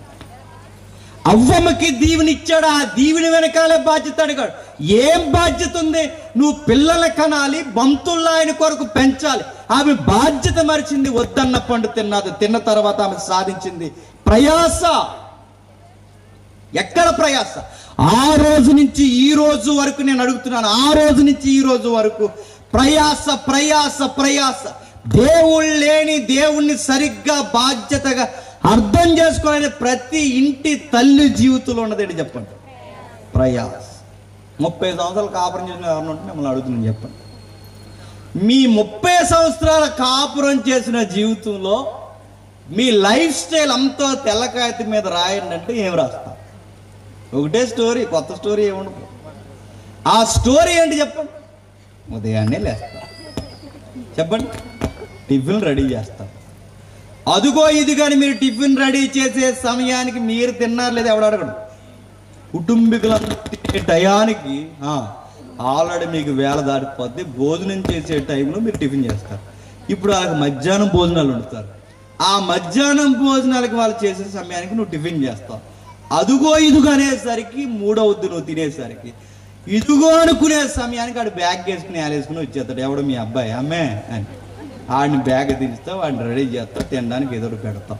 అమ్మయ్యా అనుకునే సమయానికి ఈ లోపు మీ ఆయన వచ్చేస్తాడు. ఇప్పుడు ఈయన వచ్చేసే సమయానికి మళ్ళీ ఉరుకులు పరుగులు సాయంకాలం భోజనం రెడీ చేస్తాం ఇలా సర్కిల్ అవుతుంది మళ్ళీ మెల్లగా నిద్రలోకి వెళ్తారు మళ్ళీ ఉదయం అవుద్ది మళ్ళీ టిఫిన్ ఉంటారు ఇప్పుడు అడుగుతున్నాను ఇంతకు మించిన న్యూస్ స్టోరీ ఏమైనా ఉందో? అప్పుడప్పుడు ఫంక్షన్కి వెళ్ళాం అనకండి ఫంక్షన్ కూడా పక్కన ఇంతకు మించిన కొత్తది ఏమైనా ఉందా? లేస్తారు వండుతారు తింటారు తిరుగుతారు లేస్తారు తింటారు వండుతారు తిరుగుతారు లేస్తారు. ఇదే సర్కిల్. ఇప్పుడు అడుగుతున్నాను. ఇంత ప్రయాసపడుతున్నావు బట్టలు దుక్కుతున్నావు కష్టపడుతున్నావు వంట చేస్తున్నావు స్లిమ్ ఉండేదాని టయాన్ని తినక ఇలాగ అయిపోయావు. ఇంత నీ బాధ్యత. ఆ అమ్మ నాన్న దగ్గర ఉండేటప్పుడు ఎంత బాగుండేదాన్ని ఇలాగైపోయి ఏంటి పెద్దమ్మ నీ కథ ఏంటి అని అడిగితే పెద్దమ్మ మనసిప్పు మాట్లాడితే ఏమంటే చెప్పిన? ఇప్పుడు ఏ పోదాం అనుకున్నాను కానీ పోలేకపోయాను రా. ఏ అని నిజమే? ఏ ఎందుకంటే చాలా బాధలు ఉంటాయి ఎందుకు పోకుండా ఉండిపోయావంటే అదిరిపోయే రెండు ఆన్సర్లు ఉంటాయి ఆ పెద్దమ్మ దగ్గర ప్రతి ఇంటి వాళ్ళ దగ్గర. ఏంటంటే మరి ఇంత ప్రయాస ఎలా పడుతున్నావు అంటే రెండు ఆన్సర్లు. ఒకటి పిల్లలు. రెండు భర్త. అందుకు పడుతున్నాను అంటే ఇప్పుడు ఈ కష్టమంతా పిల్లల కోసమేనా? అంటే అంటుంది. ఎస్ ఆ పిల్లల కోసం. ఈ ప్రయాసంతా భర్త కోసమేనా అంటే ఇప్పుడు అంటది. భర్త కోసమేరా ఇంకేముంటాయరా? అని అడుగుతుంది ఇప్పుడు నేను అడుగుతున్నాను. ఏ పిల్లల కోసమైతే ఇంత కష్టపడుతున్నారో ప్రయాసం ఆ పిల్లల వలన అక్కడ ఉంది వేదన. ఏంటి? వేదన అంటే ఇప్పుడు బిడ్డల వలన వేదన ఉంటుందంటే ఉంటుంది. బిడ్డలు పుడుతున్నప్పుడు వేదన. ఒక బిడ్డను ఒక తల్లి కనాలి అంటే రెండు వందల ఐదు ఎముకలు ఒకేసారి ఇరిగితే ఎంత ప్రమాదం ఎంత నొప్పి వస్తుందో అంత నొప్పిని అనుభవిస్తూ ఒక బిడ్డకి తల్లి ఒక బిడ్డకి జన్మనిస్తుంది ఆ తల్లి. అంటే కనేటప్పుడు వేదన ఆ బిడ్డలు పుట్టిన తర్వాత ఎదుగుతున్నప్పుడు వేదన. ఆ ఎదిగిన తర్వాత మాట వినకపోతే వేదన ఆ చదువులు కలిసి రాకపోతే వేదన ఆ బిడ్డలు స్థిరపడి నీకు గుప్పెడి మెతుకులు పెట్టకపోతే వేదన. మీరు కష్టపడి కష్టపడి ఎవరి కోసమైతే మీరు గొడ్డు సాకిరి చేసి కీళ్ళు మూళ్ళు అరగొట్టారో వాళ్ళ కోడలు వచ్చిన తర్వాత మిమ్మల్ని బయటకు పొమ్మన్నందుకు వేదన. మాట వినలేనందుకు వేదన. నీవు కష్టపడి అన్నం వండితే కంచాలు కొడుకులు ఇసురుతున్నప్పుడు వేదన. లేరు అలాంటి కొడుకులు? కూర నచ్చలేదని ఆ కూరలు ఇసురే కొడుకులు ఉన్నారు వేదన. బిడ్డల వలన ఏం మిగిలిందంటే వేదన. ఈరోజు తల్లిదండ్రులు మాటినే కొడుకులు కూతుర్లు ఎక్కడ ఉన్నారు చెప్పండి? వేదన. చదువుకోమంటే చదవరు. బాధ్యత ఉండమంటే ఉండరు. ఎక్కడ ఒక పని నేర్చుకోరంటే నేర్చుకోరు. తల్లిదండ్రులకి కలిసి వచ్చేలా ఉండి ఏది ఉండరు. తిరగేసి తిరగబడతాం. ఎవరినైతే ఈ పాతికేళ్ళు పెంచావో ఆ పాతికేళ్ళు కుర్రోడు బలం సాధించి అమ్మనే నాన్నే కొట్టే వంకర కొడుకులు ఉన్నారు తెలుసా ఈ సొసైటీలో? తల్లిదండ్రుల కష్టాన్ని ఇసిరే కొడుకులు ఉన్నారు. డబ్బులు దొంగిలించే కొడుకులు ఉన్నారు. ఏమీ లేకపోయినా లేములో ఉన్నామని అర్థం చేసుకోకుండా పోజులు కొట్టే కూతుర్లు కొడుకులు ఉన్నారు మిత్రులు. లేరు? ఇలాంటి బిడ్డల వలన తల్లిదండ్రులకు వేద మొన్నే తెలంగాణలో ఒక ఆయన పెద్ద ఆయన తన స్థితికి తానే బతుకుండగా కట్టెలన్నీ వేర్చుకుని తన నిప్పు తానే వెలిగించుకుని చచ్చిపోతే కేసీఆర్ గారు కొడుకు కేటీఆర్ గారు అన్నాడు మా రాష్ట్రంలో అటు జరిగినందుకు చింతిస్తున్నాం అన్నాడు. ఏ అంటే ఆ పెద్ద ఆయన ఎందుకు చనిపోయాడు చెప్పిన? బాగా సంపాదించి నలుగురు కొడుకులు ఉన్నారని ఆ నలుగురు కొడుకులు నేను చచ్చిపోయిన తర్వాత ఏమైపోతారా అని బతుకున్న తర్వాతే వీళ్ళు బాగా ఉండాలి నేను చనిపోయిన తర్వాత నేను సంపాదించిన ఆస్తుల కోసం కొట్టుకుంటారేమో అనుకుని బతుకుండగా నిడదీసేసారండి ఎవరు ఆస్తులు. వాళ్ళు బాగుంటారు అనుకున్నాడు కానీ నిడదీసిన వెంటనే నేను బయటకు పంపించేశారు. ఆయన వింటుండగానే వీళ్ళు అన్నారట పదిహేను రోజులు నువ్వు చూడు పదిహేను రోజులు నువ్వు చూడు పదిహేను రోజులు నువ్వు చూడని వాదోపవాదాలు ఎప్పుడైతే చేసుకున్నా ఆ మాటలు ఈ గౌరవపదమైన పెద్దలు అన్నాడు ఛే కని పెంచిన వీళ్ళు నాకు గుప్పడి మెతుకులు పెట్టడానికి ఈ రోజు నా కొరకు వంతులేసుకుంటానంటే ఇలాంటి బతుకు బతికే కన్నా చావడం మంచిదని కట్టెలు వేసుకొని చచ్చిపోయాడు నేను అడుగుతున్నాను బిడ్డల వలన మిగిలేదేంటి చెప్పండి? వేదన బిడ్డల వలన దేవుడు అనే ఒక ఆన్సర్ కుటుంబాల్లో లేకపోతే ఎందుకు ప్రయాసపడుతున్నామో తెలియదు ఎందుకు వేదన పడుతున్నామో తెలియదు ఆ ప్రయాస ఏ బిడ్డల కొరకన్నావో ఆ బిడ్డలే నీకు కలుసురా. ఆ బిడ్డలే నేను పట్టించుకోరు. ఒక తల్లి అంటుంది బిడ్డల బిడ్డల బిడ్డల బిడ్డలు అన్నామండి. ఆ బిడ్డలను పెంచాం మాకేమీ కలిసి రాలేదు. ఆ బిడ్డలను పెంచే కన్నా చేప పిల్లలు పెంచుకుంటే బాగున్నా అమ్ముకుంటే డబ్బులు వదులంటే బిడ్డల వలన ప్రయాసం. నేను అడుగుతున్నాను హవ్వమ్మ ఏమి సాధించిందంటే ఏమి సాధించింది చెప్పండి. బాధ్యత దీవెనలో ఎప్పుడైతే మరిసిందో దీవెనలో బాధ్యత మరిసిన అవ్వమ్మ ప్రయాస సాధించింది. రెండు బిడ్డల వలన వేదన. అవును ఆ పెద్దోడు చిన్నోడిని చంపేసి వాడు చిన్నోడిని చంపేసిన ఆ పెద్దోడైన కయ్యోని అడగలేకపోయారంటే ఆడు ఎంత వంకరగా పెరుగుంటాడు ఒకసారి మీరు ఆలోచించి ఏమి సాధించింది అవ్వమ్మ చెప్పండి. బతుకుండగానే దూరం చేసుకుంది కయ్యాన్ని బతుకుండగానే చంపేసుకుంది ఏ ప్రయాస. మరి రెండో ఆన్సర్ ఏంటని అడిగితే భర్త ఎడల చెప్పండి. వాంఛ. ఏంటట? వాంఛ అంటే ఏంటండి? వాంఛ అంటే ఏంటి? వాంఛ అంటే కోరికలు కాదు. వాంఛ అంటే విపరీతంగా ఇష్టపడితే ఎక్స్ట్రీమ్లో ఒక పని ఉంటుంది.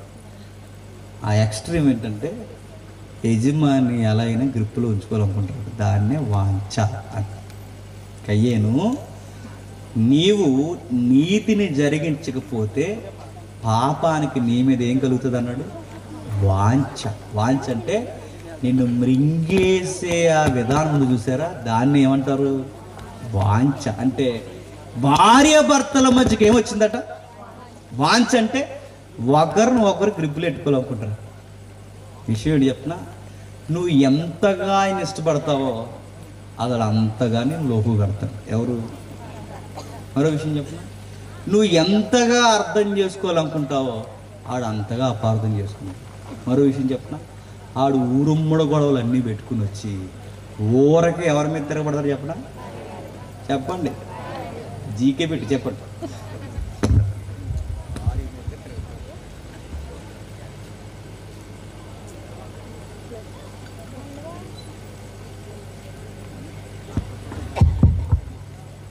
ప్రతి ఒక్కరికి అదే గొడవ.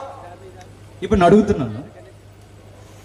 వాంచ్ అంటే విపరీతంగా ఇష్టపడతాను అంటే ఈ ప్రయాసంతా బిడ్డల కోసం అన్నాం. ఈ ప్రయాస అంతా ఇప్పుడు రెండోది ఎవరి కోసం? భర్త కోసం. ఓ కుటుంబం వెళ్ళాలి జీవితంలోకి శాపాలు ఎలా వస్తాయి చూడండి ఎవరి కోసమైతే ప్రయాసపడ్డావో ఆ ప్రయాసపడిన ప్రేమిస్తున్న వ్యక్తి అంటాడు నిన్ను ఏలాలనుకుంటాడు. అక్కడ ఉంది ఆ మాట. ఏలడం అంటే ఆడి సేదగాంతనం అంతా ఎవరి మీద జీవితారు చెప్పండి కొంతమంది భర్తలు ఉంటారండి. దళ్ళు దన్నెత్తుంటారు గోళ్ళ దన్నెత్తుంటారు బిందులు దన్నెత్తుంటారు ఎందుకనుకుంటున్నారు ఆవిడ అనలేక ఎందుకంటే ఆడికన్నా లాగుంది అంతే బకెట్లు అందుకు. అలా తన్నెత్తుంటాడు ఇలా తన్నెత్తుంటాడు అడుగుతున్నాడు. అడుగుతున్నాను ఆ పనికి మాలిన పౌరుషం ఆ అప్పులు చేయనప్పుడు ఉండాలి. ఆ పనికి మాలిన పౌరుషం నీ వారిని ఉందాగా చూసుకోవాలని చూపించాలి. ఆ పనికి మాలిన పౌరుషం నీ పిల్లలు లగ్జరీగా పెంచడంలో చూపించాలి. చూపించం. పనికిరాని పొగరు చూపించాం. ఎవరి మీద? భార్య చూపిస్తారు తిరగబడతాడు ఈ మధ్య ఒకడు ప్రార్థన చేస్తున్నాడు? ఫేస్బుక్లో పెట్టారు. ఏమని ప్రార్థన చేస్తున్నాడంటే ప్రభువా బాల్యాన్ని ఇలా ఇచ్చావు. అలా తీసేసుకున్నాం యవనాన్ని ఇలా ఇచ్చావు. అలా తీసేసుకున్నాం భార్యని ఇచ్చావు ప్రభు. ఎంత దొంగమోహోడో చూడ. ఎవరిని ఇలా ఇచ్చావు అలా తీసేసుకున్నావు బాలి ఇలా ఇచ్చావు అలా తీసుకో దీన్ని ఇచ్చావు మర్చిపోయావు జ్ఞాపకం చేసుకో. నవ్వుతున్నారు కానీ నువ్వు ఎవరినైతే ప్రేమిస్తావో అతగాడు అనుకుంటాడట నువ్వు పోయినా పర్లేదు అనుకుంటాడు. కుటుంబంలోకి ఇలాంటివన్నీ వస్తాయి ఏంటంటే నేను విషయం చెప్పనా దేవుడని ఒక బాధ్యత భార్య భర్తల మధ్య లేకపోతే మరలా చెప్తున్నాను ఇలాంటివన్నీ వచ్చి శాపాలు. దేవుడు ఒక బాధ్యత భార్య భర్తల మధ్య ఉండాలి ఆయన దీవించాడు. బయటికి పోయి చూడు చాలా మందికి పెళ్ళిళ్ళు కాక తిరుగుతున్నారు మొండు బకాయ. బయటికి పోయి చూడు పార్ట్నర్ని జీవిత భాగస్వామిని కోల్పోయి ఏడుస్తున్నారు బయటికి పోయి చూడు. బయటికి పోయి చూడు దాంపత్యుల మధ్య దాంపత్య జీవితంలో బిడ్డలు లేక గొడ్రాలి తనని మోస్తున్నారు అవన్నీ మీకు లేవు. దేవుడు చక్కటి బంధాన్ని ఇచ్చాడు పిల్లల్ని ఇచ్చాడు బాధ్యత ఇచ్చాడు. ఈ బాధ్యతలో దేవుణ్ణి మరిస్తే ఏమొస్తాయి చెప్పండి? ప్రయాస వస్తుంది వేదన వస్తుంది ఆ వాంఛలో ఒకరినొకరు లోపరుచుకోవాలనే బాధ వస్తుంది. అంటే ఇప్పుడు అవ్వమ్మ కుటుంబంలోనికి శాపాలన్నీ ఎలా వచ్చాయి చెప్పండి? దీవెనలో బాధ్యత మర్చిపోయింది కాబట్టి వచ్చాయి. అంటే ఆ కుటుంబం ఒక్కసారి అతలకుతలం అయిపోయింది నాకు. ఇప్పుడు రెండోది ఆ కుటుంబానికి హెడ్ ఆఫ్ ది డిపార్ట్మెంట్ ఉన్నాడు. ఎవరు? ఎవరు? ఆదాం. మన కుటుంబ నేపథ్యంలో చెప్పండి. భర్త. ఇప్పుడు భర్తల జాతకు విను ముగిస్తాను. భర్త జీవితాన్ని మీ గ్రాఫ్ ముప్పై సంవత్సరాల తర్వాత మీ గ్రాఫ్ అయ్యింది మీ గ్రాఫ్ ఏంటి చెప్పండి. పుడతాం మాకు పిల్లలకి చదువుకుంటే స్థిరపడితే సరే సరే. స్థిరపడకపోయినా స్థిరపడినా స్థిరపడకపోయినా వయసు వచ్చిన తర్వాత మనం చేసేస్తారు. ఏడు చెప్పండి. పెళ్ళి. మాట విన్నా మాట వినకపోయినా చేసేస్తారు. ఏడు చెప్పండి. పెళ్ళి ఒక ఆవిడని అడిగాం. మీ అబ్బాయికి ఎదుగు చేద్దాం పెళ్ళి అంటే మాట వినట్లేదు అదవా మాట వినకపోతే పెళ్ళి చేస్తారు మాట వినలేడని చేసేస్తాడు ఇప్పుడు పాతికేళ్ళు మీ మాట వినలేదు. ఇప్పుడు ఆ కట్టుకున్న పిల్ల మాట వింటాడు చేసేసారు. ఇప్పుడు అడుగుతున్నాను. అయిపోయిన తర్వాత త్వరగానే గుడ్ న్యూస్ వస్తుంది. కంగ్రాచులేషన్స్ మీరు తండ్రి అయ్యారు. ఈ తండ్రి అయిపోయిన తర్వాత బాధ్యతలు వద్దన్న మీద అప్పుడు జ్ఞానోదయం వస్తుంది అనమాట అప్పుడు బాధ్యతలు పెరుగుతాయి. ఆ బుడ్డోన్న బుడ్డదాన్న చూసిన తర్వాత. ఆ చూశాక ఆ బాధ్యతల్లో ఎవడో చెప్పిన సూత్రాలు ఇప్పుడు ఎక్కుతాయి ఆ సూత్రాలు ఏం చెప్తారంటే రే సత్తు ఉన్నప్పుడే నాలుగు రాళ్ళు వెనకేరనగానే ఆ రాళ్ళు పోగేయడం తిరిగేస్తాడు. తిరిగేస్తాడు. రాళ్ళు అంటే తెలుసు కదా మీకు? డబ్బులు. ఆ డబ్బుల కొరకు పది రూపాయలు సంపాదించకైనా వంద రూపాయలు సంపాదించకైనా పిల్లల కొరకు ఆ లవ్ అలా చేస్తుంది. నిజంగా పిల్లల ప్రేమ. ఆ ప్రేమ కొరకు కష్టపడతాడు కష్టపడతాడు కష్టపడతాడు దాస్తాడు దాస్తాడు. ఉద్యోగం చేసినోడైనా కూలి పని చేసినోడైనా ఎవడైనా ఏ కుటుంబ యజమానైనా డబ్బులు ఎందుకు సంపాదిస్తాడో చెప్పండి దేనికి? మధ్యప్రదేశ్ బిడ్డ? దేనికి? పట్టుకు. ఆ గుప్పెడు మెతుకుల కొరకే కష్టపడతాం అది ఉద్యోగస్తుడైనా కూలి పనోడైనా ఎవడైనా ఆ గుప్పెడి మెతుకుల కొరకే. విషయం ఏంటి చెప్పనా ఆ గుప్పెడు మెతుకులు సంపాదించడానికి సేమ్ పురుషుడి జీవితంలో కూడా పదిహేడు వచ్చిన అంటున్నాడు. ప్రయాస పడతాడు ఏం పడతాడు? ప్రయాస పడతాడు తాను ఏదైతే పండితే బాగుంటుంది అనుకుంటాడో ఆ పండేదే తిరగబడడం ప్రారంభిస్తాడు. మరో మాట. గుప్పెడు మెతుకులు సంపాదించడానికి పంతొమ్మిది వచ్చంలో నేలకు తిరిగి చేరే వరకు ముఖానికి చెమట కారుస్తాడు. దేనికంటే గుప్పెడు మెతుకుల ఆహారం సంపాదించు. నేను అడుగుతున్నాను పురుషుల జీవితం మిమ్మల్ని చూడండి.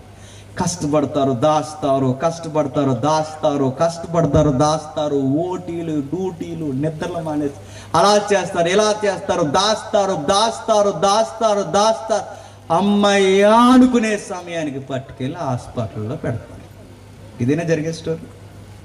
అమ్మయ్యా అనుకునే సమయానికి ఈ మధ్య వస్తున్నాయి ఆఫర్లు గుండుపోట్లు అమ్మయ్యా అనుకునే సమయానికి గుప్పడి మెతుకులు సంపాదించి మనసారా తిందామనుకునే సమయానికి దేవుడు చెప్పాడు ఒక పురుషుడికి నువ్వు ఏ మట్టి మీద బతికావో చివరికి అదే మట్టి అయిపోతావు అన్నాడు.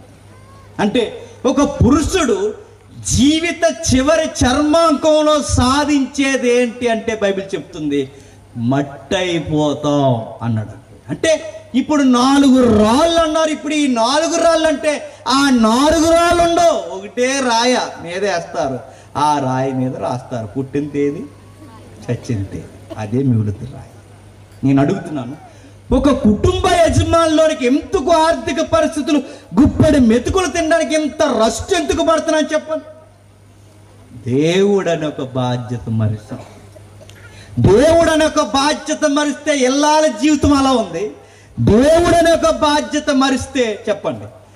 భర్త జీవితం అలాదంటే దేవుడు ఏ దీవెన ఇస్తాడో ఆ దీవెన కాపాడి బాధ్యతగా ఆయనకి దగ్గరగా ఉంటే జీవితాలు అందంగా ఉంటాయి. పొందుకున్న తర్వాత మరిసి తిరిగామో చెప్పండి. అవే శాపాలైపోయి కూర్చుంటాయి. అంటే అవ్వ ప్రయాసపడడానికి బాధ్యత మరిసింది. ఆదాము ప్రయాసపడడానికి బాధ్యత మరిశాడు. ఇప్పుడు మనం ప్రయాసపడడానికి చెప్పాలి. బాధ్యతలు మరిసామేమో చెక్ చేసుకోండి. మీకెందుకు ఆర్థికంగా కలిసి రావట్లేదు? మీరు ఎంత కష్టపడినా అసలు ఈ సైన్యం అది కాదు. మీరు ఏదో దేవుడు ఇచ్చిన తర్వాత తేడాగా తిరుగుతున్నారు గుర్తుపెట్టుకో. దేవుడు నీకు ఒకప్పుడు ఉన్నతమైన స్థితి ఇచ్చినప్పుడు ఈరోజు నీ ఆరోగ్య పరిస్థితులు స్థిరగబడుతున్నాయంటే ఆరోగ్యాన్ని లెక్క చేయకుండా తిరిగావేమో గుర్తుపెట్టుకో. అంటే ఇప్పుడు దేవుడు మనకు ఆరోగ్యాన్ని ఇచ్చిన తర్వాత ఏం చేయాలి దేవా? ఎవరికీ లేని ఆరోగ్యం నాకు అనుగ్రహించావయ్యా. నీకు స్థుతులు కలుగును కాకని దేవునికి దగ్గరగా ఉండి ఆ దేవుని సన్నిధిలో నువ్వు మమేకమై ఉండాలి. ఉంటారా? ఆరోగ్యం ఇచ్చినందుకు మగాళ్ళందరూ చేసే పని ఏంటండి? తాగి తందనాలు ఆడతారు. నడుగుతున్నాను అడుగుతున్నాను. తాగి తందనాలు ఆడితే ఆరోగ్యం ఏమవుతుంది చెప్పు నీకు. నీ ఆరోగ్యమే నేను చంపేదేమనుకోండి దేవుడు నీకు ఆరోగ్యం ఇచ్చింది. తాగి రోడ్లను తిరుగుతాడు. తాగుతావు తాగుతావు తాగుతావు. నీ కిడ్నీ ఎగిరిపోద్ది అంత కూడా తాగుతావు తాగుతావు నీ లివర్ పనిచేయడం మానేస్తుంది తాగుతావు అంటే ఇప్పుడు నీ ఆరోగ్యమే నీ నీ ప్రాణాలు తోడేస్తుంది ఒకరోజు ఎందుకు? నువ్వు ఇచ్చిన ఆరోగ్యంతో సెలగట్టుమాడు. ఆరోగ్యం అని ఒక దీవెనిస్తే నువ్వు తప్ప తాగావు. అందుకే చచ్చావు. నీకు దేవుడు ఏదో ఒక ఉద్యోగాన్ని చక్కటి టాలెంట్ని ఇస్తాడు. ఆ ఉద్యోగం ఎందుకు ఇచ్చాడు? చాలా మందికి ఉద్యోగాలు లేవు బయట. నీకు ఒక ఉద్యోగం ఇచ్చాడు. ఆ ఉద్యోగంలో నెలకు ఒక జీతం ఇచ్చాడు నీ చేతిలో ఒక రూపాయో ఒక పది రూపాయలో దేవుడు పెడతాడు. బాధ్యత. దేవా ఈరోజు ఎందరికో డబ్బులు లేవు నాకు డబ్బులు ఇచ్చావయ్యా. దీని బట్టి నిన్ను బట్టి ఈరోజు ఈ స్థితిని బట్టి నేను స్థుతిస్తున్నానని దేవునికి దగ్గరగా ఉండాలి. ఉంటావా? వంకర పార్టీలు ఇట్టుకుంటూ తిరుగుతాం. ఆ ఉద్యోగం వచ్చిన పార్టీలు షికార్లు ఇవన్నీ పెట్టుకుంటే ఇలాగే పార్టీలకి వెళ్ళాడు ఒకడు గవర్నమెంట్ ఎంప్లాయ్. తిరిగి తిరిగి వస్తూ వస్తూ ఆడి బైక్ ఆడే కాళ్ళలోకి పోయి చచ్చిపోయాడు. తాగి తెచ్చాడు ప్రమాదం. లారీలు గుద్దు తెచ్చారు బస్సులు గుద్దు తెచ్చారు. ఎందుకు తెచ్చావు? నీ ఉద్యోగంలో నీకు డబ్బు ఎక్కువైపోయి తాగుబోతు పార్టీలు కలిసి తెచ్చావు. నీ ఉద్యోగమే నీకు ఊరుతాడు అయింది నీ ఆరోగ్యమే నీకు ఊరుతాడు చదువుకోరా అని పంపిస్తారు. దేవుడు నీకు చదువు అనే దీవునిచ్చాడు గుర్తుపెట్టు. ఆ చదువుకునే దీవుల్లో ఎలా ఉండాలి? బాధ్యతగా చదవాలి. నేను బాధ్యతగా చదవను సినిమా థియేటర్లకు వెళ్తాను నేను బాధ్యతను బైక్ రేసింగ్లో తిరుగుతాను నేను బాధ్యతగా చదువుకోను మా అమ్మ నాన్న కళ్ళు కప్పి పార్కులు బీచ్లో తిరుగుతానంటే వస్తూ వస్తూ ఎగిరిపోతావు గుర్తుపెట్టుకో. నీ చదువే ఒకరోజు నేను చంపేస్తుంది అనుకుంటావు నీకు చదువు ఇచ్చాడా చదువుకో. నీకు ఉద్యోగం ఇచ్చాడా? బాధ్యతగా చేసి దేవుడికి దగ్గర ఉండు. నీకు సంసారం ఇచ్చాడా? చకచకా చక్కబెట్టి ఆదివారం అయ్యేసరి కుటుంబ సమేతంగా సన్నిధిలో కూర్చుని దేవుని స్థుతించు నీకు దేవుడు ఒక యజమానిగా నేను చక్కబెడుతున్నాడు రా! భర్త వస్తే భార్య రాదు. భార్య వస్తే భర్త రారు వీళ్ళిద్దరు వస్తే పిల్లలు రారు. కుటుంబంలో నీకు రోగాలు ఆర్థిక పరిస్థితులు రాకపోతే ఏమొస్తాయి చెప్పండి బాధ్యత లేదు. బాధ్యత లేని ఏ కుటుంబానికైనా దీవెనలు ఇచ్చిన తర్వాత మరిచి తిరిగామో నేను చెప్తున్నాను. ఎంత ఎదగమన్నా మన కుటుంబం మారాలి. దేవా ఎవరికి లేని స్థితిని ఇచ్చేవయ్యా. పోయి చూడండి గవర్నమెంట్ హాస్పిటల్. గవర్నమెంట్ హాస్పిటల్లో మంచాలు లేక ఆ మాసిపోయిన దుప్పట్ల మధ్య ఆ బాత్రూముల పక్కన పడుకుంటే డాక్టర్లు వచ్చి ఎప్పుడో వైద్యం చేస్తారని ఆ రొచ్చాసలు వచ్చే దగ్గర పడుకుని ఉంటారండి. వాళ్ళకి లేని స్థితి బాగా గుర్తుపెట్టు. వాళ్ళకున్న స్థితి ఈరోజు నీకు లేదు. నీకు ఆరోగ్యం ఇచ్చాడు. ఎంత జాగ్రత్తగా ఉండాలి? వాళ్ళకు ఉండే ఆ గతి నీకు లేదు ఒక మంచి స్థితి ఇచ్చాడు గుప్పిడి మెతుకలు తిట్టినావు ఎంత జాగ్రత్తగా ఉండే అన్నం చూసినప్పుడు దేవుని స్థుతించాలి. దేవా ఈరోజు కంచం మీద కూర్చుని తింటున్నాను నీ వల్లయ్యా అని. ఇది దీవెన అర్థం చేసుకోండి. ఇది బాధ్యత అర్థం చేసుకోండి. ఇవి అర్థం చేసుకుంటున్నావా? అడుగుతాం అడుగుతాం. దేవుడు ఇస్తాడు. ఆ ఇచ్చిన వాటిని తీసుకుని వంకెట్టి దేవుని దగ్గరే మానేస్తాం. ఇలాగే ఒక ఆవిడ పిల్లలు లేరు పిల్లలు లేరు పిల్లలు లేరు పిల్లలు లేరు అందే. అంతకుముందు ఆ పిల్లలు లేకముందు భర్త లేదు పెళ్ళి లేదు పెళ్ళి లేదు అంది. భర్తనిచ్చాడు దేవుడు పిల్లల్నిచ్చాడు. చర్చిలో కనపడడం మానేసి పాస్టర్ గారు అడిగారు ఏమ్మా చర్చికి రావట్లేదారా తల్లి అంటే అంటే మరి బాబు బాగా చిన్నోడండి అందుకే రాలేకపోతున్నాను. తర్వాత మళ్ళీ అడిగాడు మళ్ళీ అడిగాడు మళ్ళీ చెప్పింది బాబు ఇప్పుడు ఎదిగాడండి కొంచెం స్కూల్ అది కొంచెం బిజీ షెడ్యూల్ అని రాలేకపో తర్వాత మళ్ళీ అడిగారు పాస్టర్ గారు ఏరా ఇంతకాలం అయిపోయింది ఏడాది పైనే దాటేసింది ఎందుకు రావట్లేదంటే? ఇప్పుడు మళ్ళీ అంది ఈసారి నేను రెండోసారి ఒట్టు మనిషిని కాదు. అప్పుడు పాస్టర్ గారు అన్న తిరగేసి దేవుడు నీకు పెళ్ళి చేసి తప్పు చేశాడా? అంటాడు నీకు దేవుడు ఒక వివాహం ఇచ్చి నీకు బిడ్డల్ని ఇచ్చి నీకు ఎందుకు ఇచ్చాడు? ఆయనకి దగ్గరకు ఉంటావని ఇచ్చాడు. బాధ్యతకు ఉంటావని ఇచ్చాడు. ఆయన ఇచ్చిన వాటిని అడ్డు పెట్టుకున్నావు ఆయనకు దొరకకుండా తిరిగితే ఏమి ఇచ్చాడో మళ్ళీ అవే వెనక్కి చెప్పండి. తీసేస్తాడు ఆయనకి ఇవ్వడమో తెలుసు చెప్పండి. తీయడమో తెలుసు. దేవుడు ఒక ఉన్నతమైన స్థితి ఇచ్చాడు ఏ ఉద్యోగం ఇచ్చాడు చేసుకో. సోమవారం నుండి శనివారం వరకు చేసుకో. ఆదివారం ఆయన సన్నిధికి రా. కానీ ఆదివారం నాడు కూడా ఓవర్ డ్యూటీ చేస్తాం ఏమవుద్ది? ఏ ఉద్యోగం అయితే వంక పెడుతున్నావో అదే నీకు ఊరే కూర్చుంటుంది గుర్తు. నీకేదైనా టాలెంట్ ఇచ్చాడా? ఆయన గురించి పాడు చక్కగా ఆయన గురించి పాడకుండా నువ్వు వంకర వంకర మాటలు పాడుకుంటూ వంకర సినిమా పాటలు పాడు తిరిగితే ఆ గొంతు నొక్కేస్తాడు ఏదో రోజు గుర్తెట్టు. నీకు ఏదైనా అది పరిచర్య అయినా పాట అయినా ఏ కుటుంబ నే- నేపథ్యమైన సంసారం ఏదైనా ఇస్తాడు ఆ ఇచ్చింది నిలబెట్టుకోవడం చేతనం అవదు మనకి. ఆ నిలబెట్టుకోవడం చేత కాకపోతేనే ఈ నాశనాలన్నీ వచ్చి మీద దేవుడు శాపం ఇవ్వడండి దేవుడు దీవెనలు వేస్తాడు ఆ దీవెన నిలబెట్టుకోకపోతేనే ఆ దీవెన శాపమై కూర్చుంటాం. అది ఈ సైన్యం నుంచో ఎక్కడి నుంచో ఎదిరింటోలో ఈ చేతగాని మాటలు మాట్లాడకండి. మనం పాడైపోవడానికి చెప్పండి. మనమే కారణం మనం ఏమి ఎత్తుతామో అవే కోస్తాం. మనం ఏం చేస్తామో అదే తిరిగి వస్తుంది. మనం చేసుకున్నదే చెప్పండి. మన నెత్తి మీద అది బైబిల్ బైబిల్ ఇస్తున్న స్టేట్మెంట్స్ ఇవి. మన బాధ్యత మరిచిన బాధ్యత అంటే దేవా నువ్వు నాకు ఇచ్చావు. ఇదిగో రోజు రోజుకి నీకు దగ్గరకు వస్తున్నాను. ఇలా ఉండు. దేవుడు నేను దీవిస్తాను. బైబిల్ ఒక ఎగ్జాంపుల్ ఉంది. చూసి ముగించుకుందాం. మతి సువార్త చూడండి. మతి సువార్త ఇరవై ఐదో అధ్యాయం. మతి సువార్త ఇరవై ఐదో అధ్యాయం పదిహేను వచ్చుండి మతి సువార్త ఇరవై ఐదో అధ్యాయం. పదిహేను ఒకనికి ఒకటి వచ్చిన చెప్పమ్మా ఇరవై ఐదో అధ్యాయం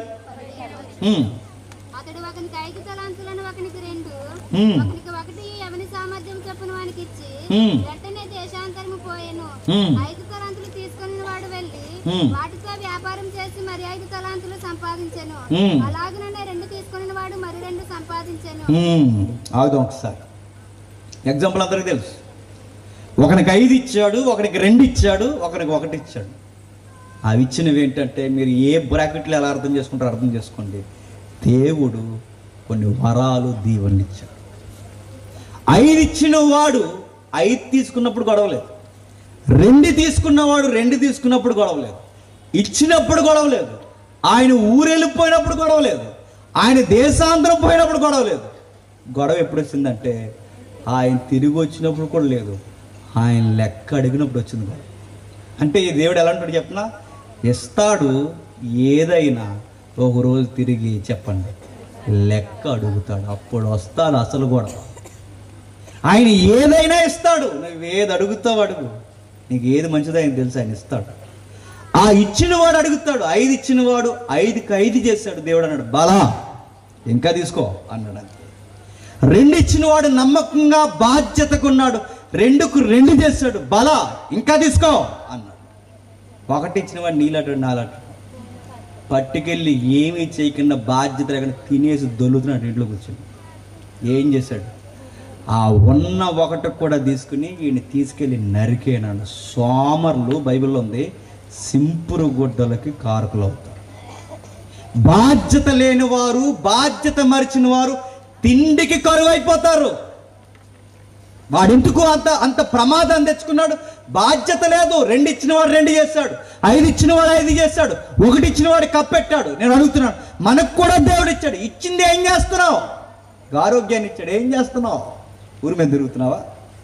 నీకు దేవుడు సంపాదన ఇచ్చాడు ఏం చేస్తున్నావు? సంపాదన చుట్టూ తిరుగుతున్నావా? నీకు దేవుడు సంసారాన్ని ఇచ్చావు సంసారం అనే వంకెట్టి ఆయన మర్చిపోయి తిరుగుతున్నావా? దేవుడు నీకు ఏదో ఒక టాలెంట్ ఇచ్చాడు ఆ టాలెంట్నే వంకెట్టి ఆయన దగ్గరే పూజలు కొడుతున్నావా? ఏదేది చేస్తున్నావు అన్ని చూస్తాడు ఆయన. ఆ చూసిన ఆయన నమ్మకం ఉంటే ఇంకా ఇస్తాడు ఇంకా ఇస్తాడు ఇంకా ఎదిగిస్తాడు. ఏమాత్రం తేడా ఉన్నామో ఉన్నవి కూడా తీసి నమ్మకంగా ఉన్నాడు పట్టుకెళ్ళి నీ కూడా అడిగించేది ఇప్పుడు చెప్పండి. సౌలుని రాజుని ఎందుకు చేశాడు చెప్పనా? ఆ కొంపను గూల్సేవలా ఈయన గూల్సేస్తావా ఆని చంపేస్తావా నేను రాజుని చేయలేదు. అనేక కుటుంబాలకి మంచి నాయకుడు ఉంటావని చేశాడు. అనేక కుటుంబాలకి నాయకుడు ఉంటావని చేస్తే నీ స్వార్థం కొరకు నాయకత్వాన్ని ఒక అమాయకుని చంపేయాలనుకున్నావు గనకే ప్రమాదం తెచ్చుకుని శాపం తెచ్చుకుని తెచ్చుకో సంసోన్ని బలశాలిగా దేవుడు ఎందుకు చేశాడు తెలుసా? పోయి ఇలాంటి పనికి మాలిని గయ్యాల దగ్గర సరసాలు అర్థమని చేయలేదు. నిన్నెందుకు బలశాలని చేశాడంటే ఇస్రాయేలీలైన అమాయకులైన పిలిస్తీల్ని కా పిలిస్తీల చేతుల నుండి ఇస్రాయేల్ని కాపాడతామని చేశాడు.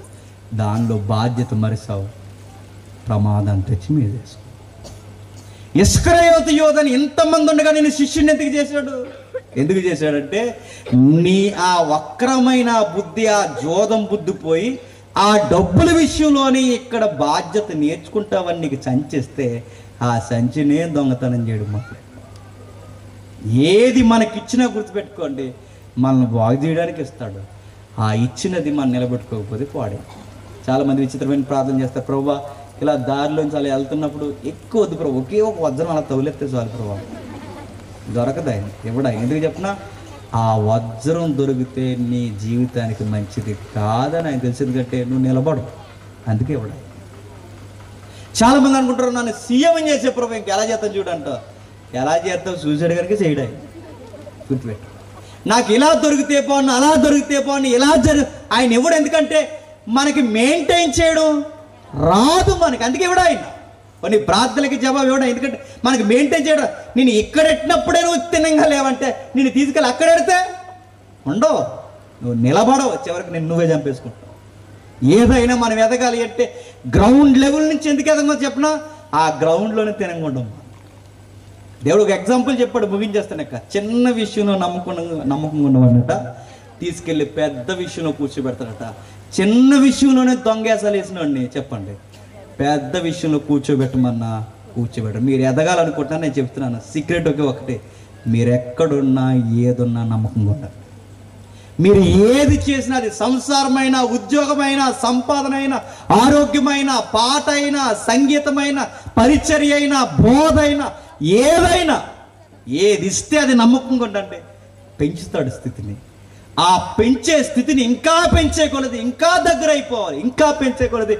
ఆయనకి ఇంకా దగ్గర అయిపోయి మన బాధ్యత ఉంటే అందరికీ దీవెనకరంగా అక్కడ కూర్చోబెట్టి దీవిస్తాడు.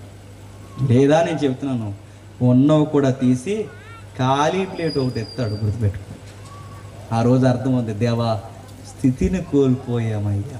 అలాంటి ప్రమాదం తెచ్చుకోకూడదంటే చెప్పండి. ఆ శాపాలు రాకూడదంటే ఎప్పుడు చెప్పండి? దేవునికి బాధ్యత ఉండాలి ఇప్పుడు ఈ సైన్యం ప్రాబ్లం కదా ఏమి? గడపలేం పాల్గొట్టకండి ఈ సైన్యం ప్రా కదా ఆ తరగ మాసం ఎవడ ఇంటికి వచ్చి ఆ కిటికీ ఎక్కడ మార్చి కిటికీ ఎక్కడ మార్చు ఆ గుమ్మ ఏం నమ్మకండి. డబ్బులు ఏమైనా మారుతామని చెప్పండి సార్ ఎవడైతే చెప్తున్నాడో డబ్బులు ఇవ్వండి డబ్బులు ఇవ్వండి లక్ష రూపాయలు మారుతామని చెప్పండి. అది ఇవ్వడం. ఎందుకంటే డబ్బులు లేని మాటగాడు సలహాలు ఇస్తాం. ఈసారి అదండి ఇదండి అని ప్రాబ్లం చెప్పుకుని ఎదిరింటోళ్ళు పోరు. వాళ్ళు ఎవరు కాదండి? వాళ్ళ బాధలు వాళ్ళకు ఉన్నాయి. వాళ్ళు మనం పట్టించుకునేంత ఖాళీ ఎదిరింటోళ్ళకి లేదు. వాళ్ళ మీద పడకండి. మన బాధలు మనవే మన బాధ్యత మన. దేవుడికి మనం ఎంత దగ్గరకు ఉంటే చెప్పండి. దేవుడు అంత చూస్తాడు అది క్రొత్త నిబంధనలు ఆ కంటెంట్ ఇచ్చాడు. ఆ కంటెంట్ ఏంటో తెలుసా? మొదట ఆయన రాజ్యాన్ని నీతిని ఎతకండి ఆయన రాజ్యాన్ని నీతిని ఎదిగితే నీకు అన్నం కావాలా? పెడతానన్నాడు ఆయన. నీకు బట్ట కావాలా? నేను ఇస్తానన్నాడు ఆయన. నీకు ఏమేమి అవసరం ఉన్నాయో నాకు బాగా తెలుసు అన్నాడు ఆయన. అయితే మీకు షరతు. ఆ బాధ్యతలో నా నీతి ఏంటో రాజ్యం ఏంటో తెలుసుకుని నాకు బాధ్యతగా ఉండండి.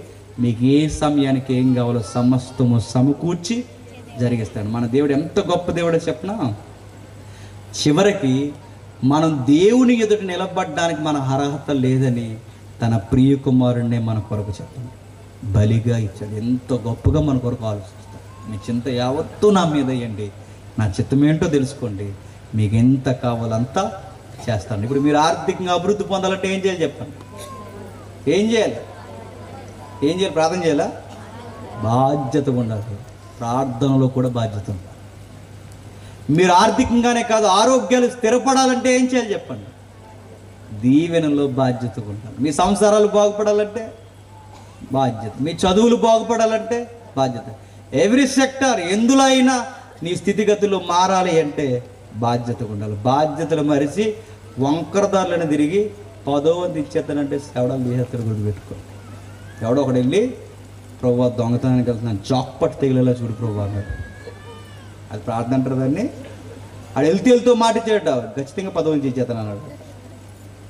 అలాంటి అలాంటి పనికి మనం ప్రార్థన చేస్తే దేవుడు ఊరుకోడు గాక ఊరుకోడు అందుకే మీ స్థితిగతులు బాగుండాలంటే మీ మీ ఆరోగ్య పరిస్థితులు బాగుండాలంటే ఆయన రాజ్యాన్ని నీతిని ఎతకండి దేవుడు మిమ్మల్ని అందరినీ దీవించి బలపరచును గాక ఆమె ముఖ్యంగా ఈ సభలకు కారకులైన యవనస్తులు కానీ విశ్వాసులు కానీ ఎవరైనా ఉంటే ఈ సభ బాధ్యతగా ఉండాలని మర్చిపోయాడు తండ్రి మేము ఎదుగుదలకి తండ్రి ఎదగలేకపోవడానికి కారణం వాళ్ళు వీళ్ళు అని ఎవరెవరో కారణాలు చెప్పాం కానీ మా ఎదుగుదలకి అడ్డంగా ఉండిపోయిన కారణం మాకు మేమే అని తండ్రి వాక్యం సెలవిస్తాం మీరిచ్చిన వాటిలో మేము నమ్మకంగా లేకపోతే కుటుంబాలు బాగోవు. మీరు ఇచ్చిన వాటిలో మేము నమ్మకంగా లేకపోతే మా ఆరోగ్యాలు కూడా బాగోవు. మేము ఇచ్చిన వాటిలో నమ్మకంగా లేకపోతే తండ్రి మా ఆర్థిక పరిస్థితులు మా భవిష్యత్తు అడుగుజాడలు కూడా తండ్రి మాకు కలిసి రావు. ఇది సాతాను వలనో దిక్కుల వలనో గ్రహాల వలనో కాదు తండ్రి. తండ్రి మీరు ఇచ్చిన దీవెని కాపాడుకోకపోతే మేము తెచ్చుకున్న నాశనం. తండ్రి ఎందరికి సంగతులు అర్థమయ్యాయో వారందరినీ మీకు అప్పగిస్తున్నాం.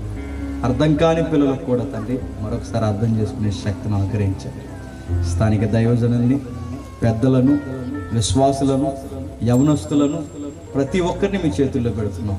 వారి వారి అవసరతలను వారి యొక్క స్థితిగతులను మరింత తండ్రి మీరు దీవించి కాచి కాపాడతారని కోరుతున్నాం. మనం శత్రులుగా భావించి ఈ రోజుకి మా మీద చెడ్డ మాటలు పలుకుతూ తండ్రి మమ్మల్ని లేకుండా చేయాలని ఎవరైతే ఆలోచిస్తున్నారో వారిని క్షమిస్తారని కోరుతూ వారికి మారు మనసు అనుగ్రహిస్తారని అర్థిస్తూ క్రీస్తున్నామని ప్రార్థన సమర్పిస్తున్నాం తండ్రి. Amen, Amen, Amen. Set.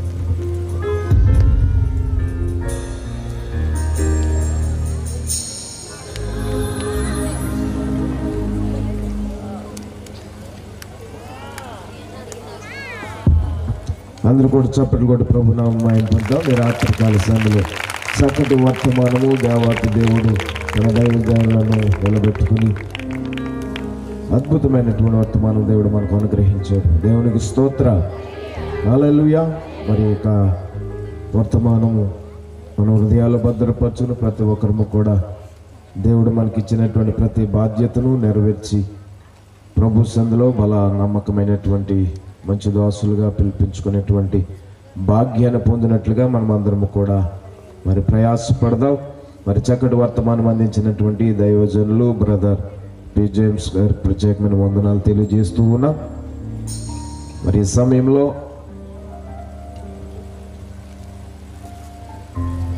ఈ యొక్క కార్యక్రమానికి మరి బాధ్యత వహించి ప్రయాసపడి భారం మోసినటువంటి ప్రియ యవనస్తులందరికీ కూడా ప్రత్యేకమైన వందనాలు తెలియజేస్తున్నాం. వారిని కూడా చప్పట్లు కొట్టి అభినందిద్దాం. మరి దైవజనులు మన మధ్యకి నడిపించి మరి మంచి వర్తమానము వారు మనకి అనుగ్రహించారు. వారు ఎంతో ప్రయాసపడి ఈ కార్యక్రమాన్ని నడిపించినటువంటి బిడ్డలకి ప్రత్యేకమైన వందనాలు. అలాగే వచ్చినటువంటి పెద్దలకి మరి ఇరుగు పొరుగు మరి గ్రామాల నుంచి వచ్చినటువంటి మరి విశ్వాసులకి అలాగే మరి ఆ ప్రాంతాల నుంచి వచ్చినటువంటి దైవజనులకి ప్రత్యేకమైన వందనాలు తెలియజేస్తూ ఉన్నాం.